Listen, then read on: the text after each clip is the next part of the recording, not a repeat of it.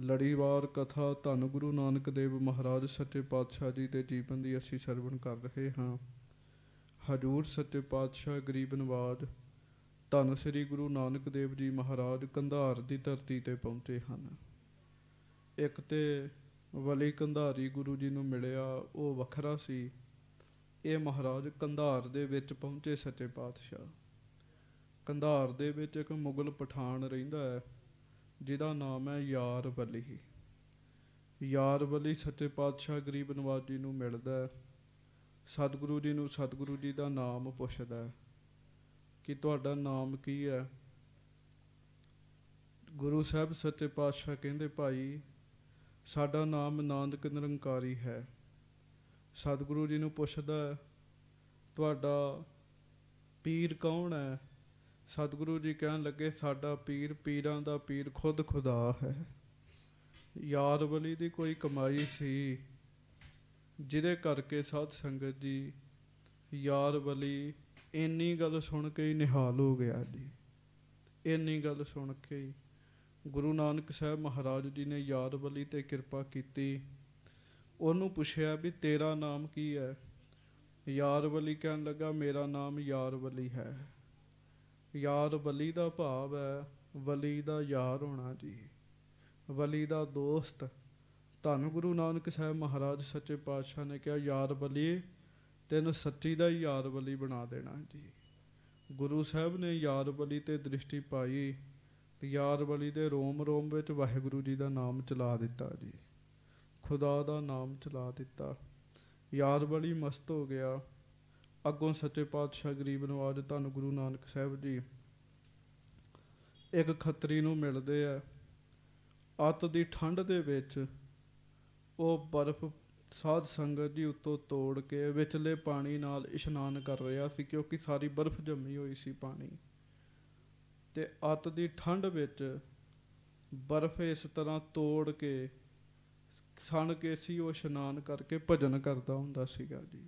ਭਜਨ ਕਰਦਾ ਹੁੰਦਾ ਸੀਗਾ। ਉਹਦੀ ਹੋਰ ਕਮਾਈ ਸੀ। ਸਤਿਗੁਰੂ ਗੁਰੂ ਨਾਨਕ ਸਾਹਿਬ ਮਹਾਰਾਜ ਜੀ ਨੂੰ ਜਦੋਂ ਉਹਨੇ ਦੇਖਿਆ ਤੇ ਗੁਰੂ ਜੀ ਦੇ ਦਰਸ਼ਨ ਕਰਕੇ ਹੀ ਉਹਦਾ ਭਲਾ ਹੋ ਗਿਆ ਜੀ। ਆਪੋ ਆਪਣੀ ਕਮਾਈ ਦੀ ਖੇਡ ਹੈ। ਕੱਲ ਵੀ ਬੇਨਤੀ ਕੀਤੀ, ਕਿਸੇ ਦੀ ਕਮਾਈ ਬਹੁਤ ਜ਼ਿਆਦਾ ਜੀ, ਉਹਨੇ ਦਰਸ਼ਨ ਕਰਦਿਆਂ ਸਾਰੀ ਉਹਦਾ ਭਲਾ ਹੋ ਗਿਆ ਜੀ। ਤੇ ਕਿਸੇ ਦੀ ਕਮਾਈ ਸਾਧ ਸੰਗਤ ਜੀ ਉਹ ਤੋਂ ਥੋੜੀ ਘੱਟ ਹੈ। ਉਹਨੇ ਦਰਸ਼ਨ ਕੀਤੇ ਬਚਨ ਬਲਾਸ ਕੀਤੇ ਤਾਂ ਭਲਾ ਹੋ ਗਿਆ ਜੀ। ਇਹ ਜੋ ਵੀ ਤੁਸੀਂ ਕਥਾ ਸੁਣਦੇ ਹੋ ਕੀਰਤਨ ਸੁਣਦੇ ਹੋ ਬਾਣੀ ਪੜ੍ਹਦੇ ਹੋ ਨਾਮ ਜਪਦੇ ਹੋ ਇਹ ਸਾਰੀ ਕਮਾਈ ਇਕੱਠੀ ਹੋਈ ਜਾਂਦੀ ਹੈ ਪਰਮੇਸ਼ਰ ਦੇ ਨਾਮ ਦੀ। ਜਿਹਨੂੰ ਗੁਰੂ ਅਰਜਨ ਸਾਹਿਬ ਮਹਾਰਾਜ ਕਿਰਪਾ ਕਰਕੇ ਦੱਸਦੇ ਆ ਸਾਥ ਨਾ ਚਾਲੈ ਬਿਨ ਭਜਨ ਵਿਖਿਆ ਸਗਲੀ ਛਾਰ। ਹਰ ਹਰ ਨਾਮ ਕਮਾਵਨਾ ਨਾਨਕ ਇਹੋ ਧਨ ਸਾਰ। ਸਾਰ। ਸਾਰ ਦਾ ਅਰਥ ਹੈ ਸ੍ਰੇਸ਼ਟ ਜੀ। ਇਹ ਜਿਹੜਾ ਨਾਮ ਦਾ ਧਨ ਹੈ ਨਾ, ਪਰਮੇਸ਼ਰ ਜੀ ਦੀ ਸਿਫਤਾਂ ਦਾ ਧਨ, ਇਹ ਸ੍ਰੇਸ਼ਟ ਹੈ ਜੀ। ਇਹਦੇ ਤੋਂ ਉੱਤੇ ਹੋਰ ਕੋਈ ਧਨ ਨਹੀਂ ਹੈਗਾ ਜੀ। ਤੁਸੀਂ ਵੇਖ ਲਓ, ਬਾਕੀ ਲੱਖਾਂ ਕਰੋੜਾਂ ਦਾ ਧਨ ਹੋਵੇ, ਜੇ ਜੀਵਨ ਵਿੱਚ ਦੁੱਖ ਲੱਗ ਜਾਵੇ, ਉਹ ਲੱਖਾਂ ਕਰੋੜਾਂ ਦਾ ਧਨ ਜਿਹੜਾ, ਉਹ ਬਹੁਤਾ ਕੰਮ ਨਹੀਂ ਆਉਂਦਾ ਬੰਦੇ ਦੇ ਜੀ। ਕਿਉਂਕਿ ਮਨ ਜਿਹੜਾ ਸੁਖੀ ਹੋਣਾ ਮਨ ਤੇ ਵਾਹਿਗੁਰੂ ਜੀ ਦੇ ਨਾਮ ਨਾਲ ਸੁਖੀ ਹੋਣਾ ਜੀ। ਇਸ ਤਰੀਕੇ ਨਾਲ ਆਪੋ ਆਪਣੀ ਕਮਾਈ ਹੈ, ਜਿੰਨਾ ਕੋਈ ਜਪਦਾ ਜਾਂਦਾ ਉਨੀ ਉਹਦੀ ਕਮਾਈ ਬਣੀ ਜਾਂਦੀ ਹੈ। ਇਸ ਕਰਕੇ ਕਥਾ ਸੁਣਦਿਆਂ ਸੁਣਦਿਆਂ ਪਿਆਰ ਨਾਲ ਮਨ ਹੀ ਮਨ ਵਿੱਚ ਵਾਹਿਗੁਰੂ ਵਾਹਿਗੁਰੂ ਜਪਿਆ ਕਰੋ। ਧੰਨ ਗੁਰੂ ਨਾਨਕ ਸਾਹਿਬ ਜੀ ਨੇ ਉਹਦਾ ਭਲਾ ਕੀਤਾ। ਤਿੰਨ ਦਿਨ ਉਹਦੇ ਘਰ ਵਿੱਚ ਰਹੇ। ਉਧਰ ਸਾਧ ਸੰਗਤ ਜੀ ਸ਼ਾਹ ਸਰਫ ਹੋਇਆ ਇੱਕ। ਉਹ ਯਾਦ ਵਲੀ ਦਾ ਦੋਸਤ ਸੀ। ਉਹਨੇ ਵੇਖਿਆ ਮੇਰੇ ਦੋਸਤ ਨੂੰ ਰੰਗ ਲੱਗ ਗਿਆ, ਖੁਦਾ ਦਾ। ਉਹ ਪੁੱਛਦਾ, ਤੈਨੂੰ ਖੁਦਾ ਦਾ ਰੰਗ ਕਿੰਨੇ ਲਾਇਆ? ਕਹਿਣ ਲੱਗਾ, ਮੈਨੂੰ ਪੀਰਾਂ ਦੇ ਪੀਰ ਗੁਰੂ ਨਾਨਕ ਸਾਹਿਬ ਜੀ ਨੇ ਲਾਇਆ। ਕਹਿਣ ਲੱਗਾ, ਮੈਂ ਵੀ ਇਹ ਰੰਗ ਲਾਉਣਾ ਚਾਹੁੰਦਾ। ਦੱਸੋ ਕਿੱਧਰ ਗਏ ਐ? ਉਹਨੇ ਕਿਹਾ, ਜਾਣ ਦੀ ਲੋੜ ਨਹੀਂ, ਉਹ ਆਪੇ ਹੀ ਆ ਕੇ ਤੇਰੇ ਤੇ ਮਿਹਰ ਕਰ ਦੇਣਗੇ ਜੀ। ਸੰਗਤ ਜੀ ਇਹਦੇ 'ਚ ਸ਼ੱਕ ਕੋਈ ਨਹੀਂ। ਕੋਈ ਪਿਆਰ ਨਾਲ ਬੈਠ ਕੇ ਸਤਿਗੁਰੂ ਜੀ ਨੂੰ ਯਾਦ ਕਰਦਾ ਮਹਾਰਾਜ, ਅੱਜ ਵੀ ਆਪ ਆ ਕੇ ਉਹਦੇ ਤੇ ਮਿਹਰ ਕਰ ਦਿੰਦੇ, ਕਿਰਪਾ ਕਰ ਦਿੰਦੇ ਆ। ਉਹ ਇਸੇ ਤਰ੍ਹਾਂ ਹੀ ਉੱਥੇ ਫਿਰ ਸ਼ਾਹ ਸਰਫ, ਉਹ ਸਾਧ ਸੰਗਤ ਜੀ 4 ਦਿਨ ਬੈਠਾ ਰਿਹਾ 4 ਦਿਨ ਜੀ। 4 ਦਿਨ ਬੈਠਾ ਰਿਹਾ, ਬਿਨਾ ਅੰਨ ਛਕਿਆ ਤੇ ਬਿਨਾ ਜਲ ਛਕਿਆ ਵੀ ਮੈਂ ਵੀ ਗੁਰੂ ਨਾਨਕ ਸਾਹਿਬ ਦੇ ਦਰਸ਼ਨ ਕਰਨੇ ਜੀ। ਮਹਾਰਾਜ ਸੱਚੇ ਪਾਤਸ਼ਾਹ, ਚੌਥੇ ਦਿਨ, ਵਾਹਿਗੁਰੂ ਪੰਜਵੇਂ ਦਿਨ, ਸਤਿਗੁਰੂ ਜੀ ਉਹਦੇ ਕੋਲ ਗਏ। ਉਹਨੂੰ ਦਰਸ਼ਨ ਦਿੱਤੇ, ਉਹਦਾ ਭਲਾ ਕੀਤਾ। ਕਹਿੰਦਾ, ਮਹਾਰਾਜ, ਮੈਂ ਵਿਛੜਨਾ ਨਹੀਂ ਚਾਹੁੰਦਾ। ਸਤਿਗੁਰੂ ਸੱਚੇ ਪਾਤਸ਼ਾਹ ਕਹਿਣ ਲੱਗੇ, ਜਾ, ਜੇ ਸਾਡੇ ਦਰਸ਼ਨ ਕਰਨ ਦਾ ਜੀ ਕਰਿਆ ਕਰੇ, ਤੇ ਲਾਗੇ ਮਰਦਾਨੇ ਦਾ ਪੁੱਤ ਹੈ ਖੁਰਮਪੁਰ ਵਿੱਚ, ਉਹਦੇ ਜਾ ਕੇ ਦਰਸ਼ਨ ਕਰ ਲਿਆ ਕਰ, ਮੇਰੇ ਦਰਸ਼ਨਾਂ ਦਾ ਫਲ ਮਿਲੇਗਾ, ਕਹਿਣ ਲੱਗੇ। ਮਹਾਰਾਜ ਨੇ ਆਪਣੇ ਸਿੱਖਾਂ ਨੂੰ ਕਿੰਨੀ ਵੱਡੀ ਵਡਿਆਈ ਦਿੱਤੀ ਸੱਚੇ ਪਾਤਸ਼ਾਹ ਜੀ ਨੇ। ਹੁਣ ਇਹਦੇ ਤੋਂ ਅੱਗੇ ਉਹ ਤੇ ਚਲੇ ਗਿਆ ਜੀ ਤੇ ਇਹਦੇ ਤੋਂ ਅੱਗੇ ਹੁਣ ਪ੍ਰਸੰਗ ਸਰਵਣ ਕਰੋ ਪਿਆਰ ਸਤਿਕਾਰ ਨਾਲ ਗੱਜ ਕੇ ਸਾਰੀ ਸੰਗਤ ਆਖੋ ਸਤਨਾਮ। ਸ੍ਰੀ ਵਾਹਿਗੁਰੂ ਸਾਹਿਬ ਜੀ। ਫੇਰ ਆਖੋ ਜੀ ਸਤਨਾਮ ਸ੍ਰੀ ਵਾਹਿਗੁਰੂ। ਸਾਹਿਬ ਜੀ। ਸਤਨਾਮ ਸ੍ਰੀ ਵਾਹਿਗੁਰੂ ਸਾਹਿਬ ਜੀ। ਸੁਨ ਆਇਸ ਗੁਰ ਕੀ ਸਿਰ ਧਰ ਕੈ। ਗੁਰੂ ਸਾਹਿਬ ਜੀ ਦੀ ਆਗਿਆ ਮੰਨ ਕੇ ਸ਼ਾਹ ਸ਼ਰਫ ਨੇ। ਗਮਨਿਓ ਸਦਨ ਭਾਉ ਬਹੁ ਕਰ ਕੈ। ਹਿਰਦੇ ਵਿੱਚ ਵੱਡੀ ਭਾਵਨਾ ਧਾਰਨ ਕੀਤੀ ਜੀ। ਗੁਰੂ ਸਾਹਿਬ ਨੇ ਕਿਹਾ ਸਾਨੂੰ ਮਿਲਣਾ ਕੀ ਹੈ ਪਰਮੇਸ਼ਰ ਨੂੰ ਚੇਤੇ ਰੱਖ ਸਾਨੂੰ ਮਿਲਣ ਦੇ ਬਰਾਬਰ ਹੀ ਹੈ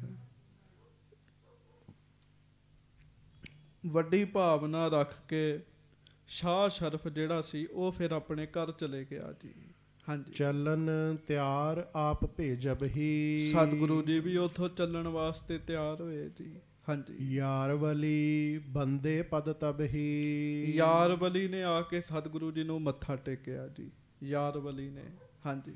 ਦੋਹਰਾ ਮੋਕੋ ਮਿਲਿਓ ਆਨ ਕਬ ਕਰੁਣਾ ਨਿਦ ਸੁਖ ਦਾਏ। ਤੇ ਯਾਰ ਬਲੀ ਕਹਿਣ ਲੱਗਾ ਮਹਾਰਾਜ ਹੁਣ ਕਦੋਂ ਆ ਕੇ ਮਿਲੋਗੇ ਸਤਿਗੁਰੂ ਜੀ? ਹੁਣ ਕਦੋਂ ਮੈਨੂੰ ਤੁਹਾਡੇ ਦਰਸ਼ਨ ਹੋਣਗੇ ਮੁੜ? ਹਾਂਜੀ। ਕਿਧੋਂ ਚਲੋ ਲੈ ਸੰਗ ਨਿਜ ਬਿਰਹ ਨਾ ਹਵੈ ਜਿਸ ਪਾਏ ਤੇ ਕਿਰਪਾ ਕਰੋ ਬਖਸ਼ਿਸ਼ ਕਰੋ ਤੇ ਜਾਂ ਤੇ ਮੈਨੂੰ ਨਾਲ ਲੈ ਚੱਲੋ ਤੇ ਜਾਂ ਫਿਰ ਸੱਚੇ ਪਾਤਸ਼ਾਹ ਮੈਨੂੰ ਦੱਸੋ ਮੁੜ ਕਦੋਂ ਦਰਸ਼ਨ ਹੋਣਗੇ। ਮੈਂ ਮਹਾਰਾਜ ਤੁਹਾਡਾ ਵਿਛੋੜਾ ਨਹੀਂ ਚੱਲ ਸਕਦਾ। ਸੰਗਤ ਜੀ ਇੱਥੇ ਤੁਸੀਂ ਅੰਦਾਜ਼ਾ ਲਾਓ ਯਾਰ ਵਲੀ ਦਾ ਮਨ ਕਿੰਨਾ ਵਾਹਿਗੁਰੂ ਦੇ ਰੰਗ ਵਿੱਚ ਰੰਗਿਆ ਗਿਆ ਹੋਏਗਾ ਜੀ। ਗੁਰੂ ਨਾਨਕ ਸਾਹਿਬ ਨਾਲ ਕਿੰਨਾ ਪਿਆਰ ਹੋਏਗਾ। ਯਾਰ ਵਲੀ ਕਹਿਣ ਲੱਗਾ ਸਤਿਗੁਰੂ ਜੀ ਮਹਾਰਾਜ ਮੈਂ ਤੁਹਾਡਾ ਵਿਛੋੜਾ ਨਹੀਂ ਚੱਲ ਸਕਦਾ ਸੱਚੇ ਪਾਤਸ਼ਾਹ। ਚੌਪਈ ਸ਼ਿਰ ਗੁਰ ਕਹਿਓ ਮਿਲਨ ਇਹੋ ਜਾਨਾ। ਹੁਣ ਇਹ ਸਿਧਾਂਤ 'ਚ ਇਹਨੂੰ ਸਮਝਣਾ ਹੈ। ਜਿਹੜੀ ਗੱਲ ਸੱਚੇ ਪਾਤਸ਼ਾਹ ਜੀ ਨੇ ਯਾਰ ਬਲੀ ਨੂੰ ਆਖੀ। ਮਹਾਰਾਜ ਕਹਿੰਦੇ ਯਾਰ ਬਲੀ ਤੈਨੂੰ ਅਸਲ ਅਸਲੀ ਮਿਲਣਾ ਦੱਸ ਦਿੰਨੇ। ਕਿਹੜਾ ਸਿੱਖ ਸਾਡੇ ਨਾਲ ਮਿਲਿਆ ਰਹਿੰਦਾ ਜੀ? ਗੱਜ ਕੇ ਆਖੋ ਵਾਹਿਗੁਰੂ। ਸੁਣਿਓ ਧਿਆਨ ਨਾਲ। ਮਹਾਰਾਜ ਸੱਚੇ ਪਾਤਸ਼ਾਹ ਨਾਲ ਅੱਠੇ ਪੈਰ ਅਸੀਂ ਕਿਵੇਂ ਮਿਲੇ ਰਹਿ ਸਕਦੇ ਹਾਂ? ਹਾਂਜੀ। ਦਾਵੇ ਕੋ ਕਰ ਦੂਰ ਗੁਮਾਨਾ। ਹੰਕਾਰ ਨੂੰ ਦਾਵੇ ਨੂੰ ਦੂਰ ਕਰਦੇ ਮਦਦ ਕਹਿਣ ਲੱਗੇ। ਹੰਕਾਰ ਨੂੰ ਦਾਵੇ ਨੂੰ ਦੂਰ ਕਰਦੇ। ਅਜੇ ਕੀ ਯਾਰ ਬਲੀ ਤੇ ਬੜੀ ਮਿਹਰ ਹੋਈ ਹੈ ਬੜੀ ਕਿਰਪਾ ਹੋਈ ਹੈ ਪਰ ਫਿਰ ਵੀ ਗੁਰੂ ਸਾਹਿਬ ਕਹਿ ਰਹੇ ਆ ਜੀ। ਉਹਦਾ ਕਾਰਨ ਹੈ ਇਹ ਬੜੀ ਬਰੀਕ ਖੇਡ ਹੈ ਇੱਥੇ ਕਿਸੇ ਵੇਲੇ ਵੀ ਬੰਦੇ ਕੋ ਭੁੱਲ ਹੋ ਜਾਂਦੀ ਜੀ। ਭਾਈ ਰਣਧੀਰ ਸਿੰਘ ਜੀ ਅਖੰਡ ਕੀਰਤਨੀ ਜਥੇ ਦੇ ਮੁਖੀ ਤੇ ਭਾਈ ਰਣਧੀਰ ਸਿੰਘ ਜੀ ਦੇ ਜਥੇ ਵਿੱਚ ਇੱਕ ਸਿੰਘ ਸੀਗਾ ਜੀ। ਉਹਨੇ ਕੀਰਤਨ ਕਰਿਆ ਕਰਨਾ। ਤੇ ਉਹਦੀ ਅਵਸਥਾ ਬੜੀ ਉੱਚੀ ਹੋ ਗਈ ਜੀ। ਬੜੀ ਉੱਚੀ ਅਵਸਥਾ ਹੋ ਗਈ ਜੀ। ਤੇ ਪਰ ਖੇਡ, ਉਹ ਇੱਕ ਦਿਨ ਭਾਈ ਰਣਧੀਰ ਸਿੰਘ ਜੀ ਕੀਰਤਨ ਜਤ- ਵਾਹਿਗੁਰੂ ਰੈਣ ਸਭਾਈ ਕਰ ਰਹੇ ਸਨ। ਤੇ ਉਹਨੂੰ ਆਖਿਆ, ਸਿੰਘ ਨੂੰ ਆਖਿਆ ਵੀ ਜਾਓ ਉਸ ਸਿੰਘ ਨੂੰ ਸੱਦ ਕੇ ਲੈ ਕੇ ਆਓ। ਉਹਨੂੰ ਆਖੋ ਕੀਰਤਨ ਦੀ ਹਾਜ਼ਰੀ ਭਰੇ। ਤੋ ਜਦੋਂ ਕੀਰਤਨ ਦੀ ਹਾਜ਼ਰੀ ਭਰਦਾ ਸੀ ਨਾ ਸਿੰਘ, ਤੇ ਜਿਹੜੇ ਸੁੱਤੇ ਹੁੰਦੇ ਸਨ ਰਾਤ ਨੂੰ, ਉਹ ਵੀ ਉੱਠ ਕੇ ਬਹਿ ਜਾਂਦੇ ਸਨ। ਵੀ ਫਲਾਣਾ ਸਿੰਘ ਕੀਰਤਨ ਕਰਨ ਲੱਗਾ ਤੇ ਕੀਰਤਨ 'ਚ ਬੜਾ ਰਸ ਦੀ ਤੇ ਸੁੱਤੇ ਵੀ ਉੱਠ ਕੇ ਬਹਿ ਜਾਂਦੇ ਹੁੰਦੇ ਸਨ। ਤੇ ਭਾਈ ਸਾਹਿਬ ਨੇ ਸਿੰਘ ਨੂੰ ਭੇਜਿਆ ਵੀ ਜਾਓ, ਉਸ ਸਿੰਘ ਨੂੰ ਆਖੋ ਵੀ ਆ ਕੇ ਕੀਰਤਨ ਦੀ ਹਾਜ਼ਰੀ ਭਰੇ। ਤੇ ਜਦੋਂ ਜਾ ਕੇ ਸਿੰਘ ਨੇ ਆਖਿਆ ਸਿੰਘ ਕਹਿੰਦਾ, ਨਾ ਜੀ, ਨਾ। ਹੁਣ ਸਾਨੂੰ ਲੋੜ ਨਹੀਂ ਹੈਗੀ ਕੀਰਤਨ ਕਰਨ ਦੀ। ਕਿਉਂ? ਅਵਸਥਾ ਦੀ ਤਰੱਕੀ ਹੋਈ ਸੀ ਨਾ ਜੀ। ਹੁਣ ਸਾਨੂੰ ਲੋੜ ਨਹੀਂ ਹੈਗੀ ਕੀਰਤਨ ਕਰਨ ਦੀ। ਆਪਣੇ ਬਾਰੇ ਉਹਨੇ ਆਖਿਆ। ਤੇ ਪਿਆਰਿਓ, ਕਹਿਣ ਦੀ ਦੇਰ ਅੱਜ ਹੋਰ ਕੱਲ ਹੋਰ, ਦਿਨ ਹੋਰ ਪੈ ਗਏ। ਤੇ ਸਾਰੀ ਅੰਦਰ ਦੀ ਖੇਡ ਜਿਹੜੀ ਸੀ ਉਹ ਵਿਗੜ ਗਈ ਤੇ ਫਿਰ ਜ਼ੀਰੋ ਤੇ ਆ ਗਿਆ ਜੀ। ਫਿਰ ਜ਼ੀਰੋ ਤੇ ਆ ਗਿਆ ਫਿਰ ਰੋਵੇ ਕਲਪੇ। ਤੇ ਭਾਈ ਰਣਧੀਰ ਸਿੰਘ ਜੀ ਨੇ ਫਿਰ ਆਖਿਆ, ਕਹਿਣ ਲੱਗੇ, ਸਿੰਘਾ, ਹਉਮੈ ਵਾਲਾ ਬਚਨ ਕਿੰਨੇ ਕੀਤਾ ਸੀਗਾ? ਤੂੰ ਹੀ ਕੀਤਾ ਸੀ ਨਾ? ਇੱਕ ਬਚਨ ਕਰਕੇ ਛੇਤੀ ਪਛਤਾਵਾ ਕਰ ਲੈਂਦੇ ਆ। ਉਹਨੇ ਤੇ ਪਛਤਾਵਾ ਵੀ ਨਹੀਂ ਕੀਤਾ ਸੀਗਾ। ਕਹਿਣ ਲੱਗੇ, ਹੁਣ ਪੰਜ ਪਿਆਰਿਆਂ ਦੇ ਪੇਸ਼ ਹੋ। ਮਾਫੀ ਮੰਗਾ, ਮਾਫੀ ਮੰਗ, ਅਰਦਾਸ ਕਰਾ ਤੇ ਫਿਰ ਸਾਧ ਸੰਗਤ ਜੀ ਉਹਦੀ ਫਿਰ ਦੁਬਾਰਾ ਗੱਲ ਬਣੀ ਜੀ। ਪਰ ਉਹ ਗੱਲ ਨਹੀਂ ਬਣੀ ਜਿਹੜੀ ਪਹਿਲਾਂ ਸੀਗੀ। ਹੁਣ ਇਹਦਾ ਭਾਵ ਸਮਝਿਓ। ਇੱਕ ਹਉਮੈ ਦਾ ਬਚਨ ਕਰਦਿਆਂ ਕਰਦਿਆਂ ਖੇਡ ਕਿੱਥੇ ਪੈ ਜਾਂਦੀ ਹੈ ਤੇ ਉੱਚੀ ਅਵਸਥਾ ਵੀ ਹੋਵੇ, ਤਾਂ ਵੀ ਬੰਦਾ ਹਉਮੈ ਕਰ ਜਾਵੇ ਤੇ ਗੱਲ ਵਿਗੜ ਜਾਂਦੀ ਹੈ। ਇਸ ਕਰਕੇ ਹਜੂਰ ਮਹਾਰਾਜ ਧੰਨ ਗੁਰੂ ਨਾਨਕ ਸਾਹਿਬ ਜੀ ਯਾਰ ਬਲੀ ਨੂੰ ਵੀ ਕਹਿੰਦੇ। ਮਹਾਰਾਜ ਕਹਿੰਦੇ ਯਾਰ ਬਲੀ ਆਪਣੇ ਅੰਦਰੋਂ ਹੰਕਾਰ ਨੂੰ ਦੂਰ ਰੱਖਣਾ ਹੈ। ਹਾਂਜੀ। ਰਹਿਨੋ ਇਹਾਂ ਆਪਨੋ ਜਾਨੋ ਹਿਰਦੇ ਹਮਾਰੀ ਆਇਸ ਮਾਨੋ। ਤੇ ਸਾਡੀ ਆਗਿਆ ਮੰਨ ਤੇ ਸਾਡੀ ਆਗਿਆ ਵਿੱਚ ਚੱਲ ਤੇ ਜਪ ਨਾਮ, ਅਸੀਂ ਤੇਰੇ ਕੋਲ ਹੀ ਆ, ਵੱਖ ਨਹੀਂ ਹੋਏ ਤੇਰੇ ਤੋਂ। ਗੁਰੂ ਨਾਨਕ ਸਾਹਿਬ ਵੱਖ ਨਹੀਂ ਹੈਗੇ ਸੰਗਤ ਜੀ। ਅੱਖਾਂ ਬੰਦ ਕਰੋ ਮਾਤਾ ਨੂੰ ਯਾਦ ਕਰੋ, ਪ੍ਰੇਮ ਨਾਲ ਗੁਰ ਮੰਤਰ ਦਾ ਜਾਪ ਕਰੋ ਮਾਤਾ ਤੇ ਲੱਗ ਹੀ ਹੈ ਜੀ। ਪਰ ਅਸੀਂ ਦੂਰ ਸਮਝ ਜਾਂਦੇ ਹਾਂ। ਪੇਖਤ ਸੁਨਤ ਸਦਾ ਹੈ ਸੰਗੇ। ਮੈਂ ਮੂਰਖ ਜਾਣਿਆ ਦੂਰੀ ਰੇ। ਬੰਦਾ ਹੈ ਨਾ, ਬੰਦੇ ਕੋ ਭੁੱਲ ਹੋ ਜਾਂਦੀ। ਮਹਾਰਾਜ ਕਹਿੰਦੇ, ਹੰਕਾਰ ਨੂੰ ਦੂਰ ਕਰ, ਜਪ ਵਾਹਿਗੁਰੂ ਜੀ ਦਾ ਨਾਮ ਤੇ ਰਹਿ ਸਾਡੀ ਆਗਿਆ ਵਿੱਚ। ਯਾਰ ਬਲੀ, ਅਸੀਂ ਕਿਤੇ ਵੀ ਹੋਈਏ, ਅਸੀਂ ਤੇਰੇ ਕੋਲ ਹੀ ਹਾਂ। ਤੇ ਸੰਗਤ ਦੀ ਇਹ ਗੱਪਾਂ ਨਹੀਂ ਹੈਗੀਆਂ। ਜਿਹੜੇ ਨਾਮ ਜਪਦੇ ਆ ਗੁਰੂ ਸਾਹਿਬ ਉਹਨਾਂ ਦੇ ਸੰਗ ਰਹਿੰਦੇ ਆ ਜੀ। ਉਹਨਾਂ ਦੇ ਨਾਲ ਰਹਿੰਦੇ ਆ ਜੀ। ਹਾਂਜੀ।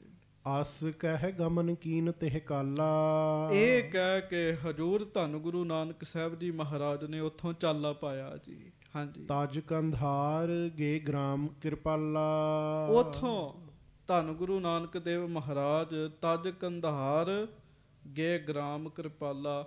ਕੰਧਾਰ ਨੂੰ ਛੱਡ ਕੇ ਅੱਗੇ ਹੋਰ ਪਿੰਡਾਂ ਵਿੱਚ ਮਹਾਰਾਜ ਗਏ ਹਨ।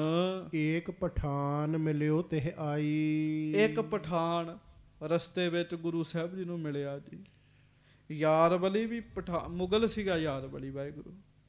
ਯਾਰ ਬਲੀ ਮੁਗਲ ਸੀਗਾ ਹੁਣ ਮਹਾਰਾਜ ਨੂੰ ਇੱਕ ਪਠਾਨ ਮਿਲਿਆ ਜੀ ਪਠਾਨ।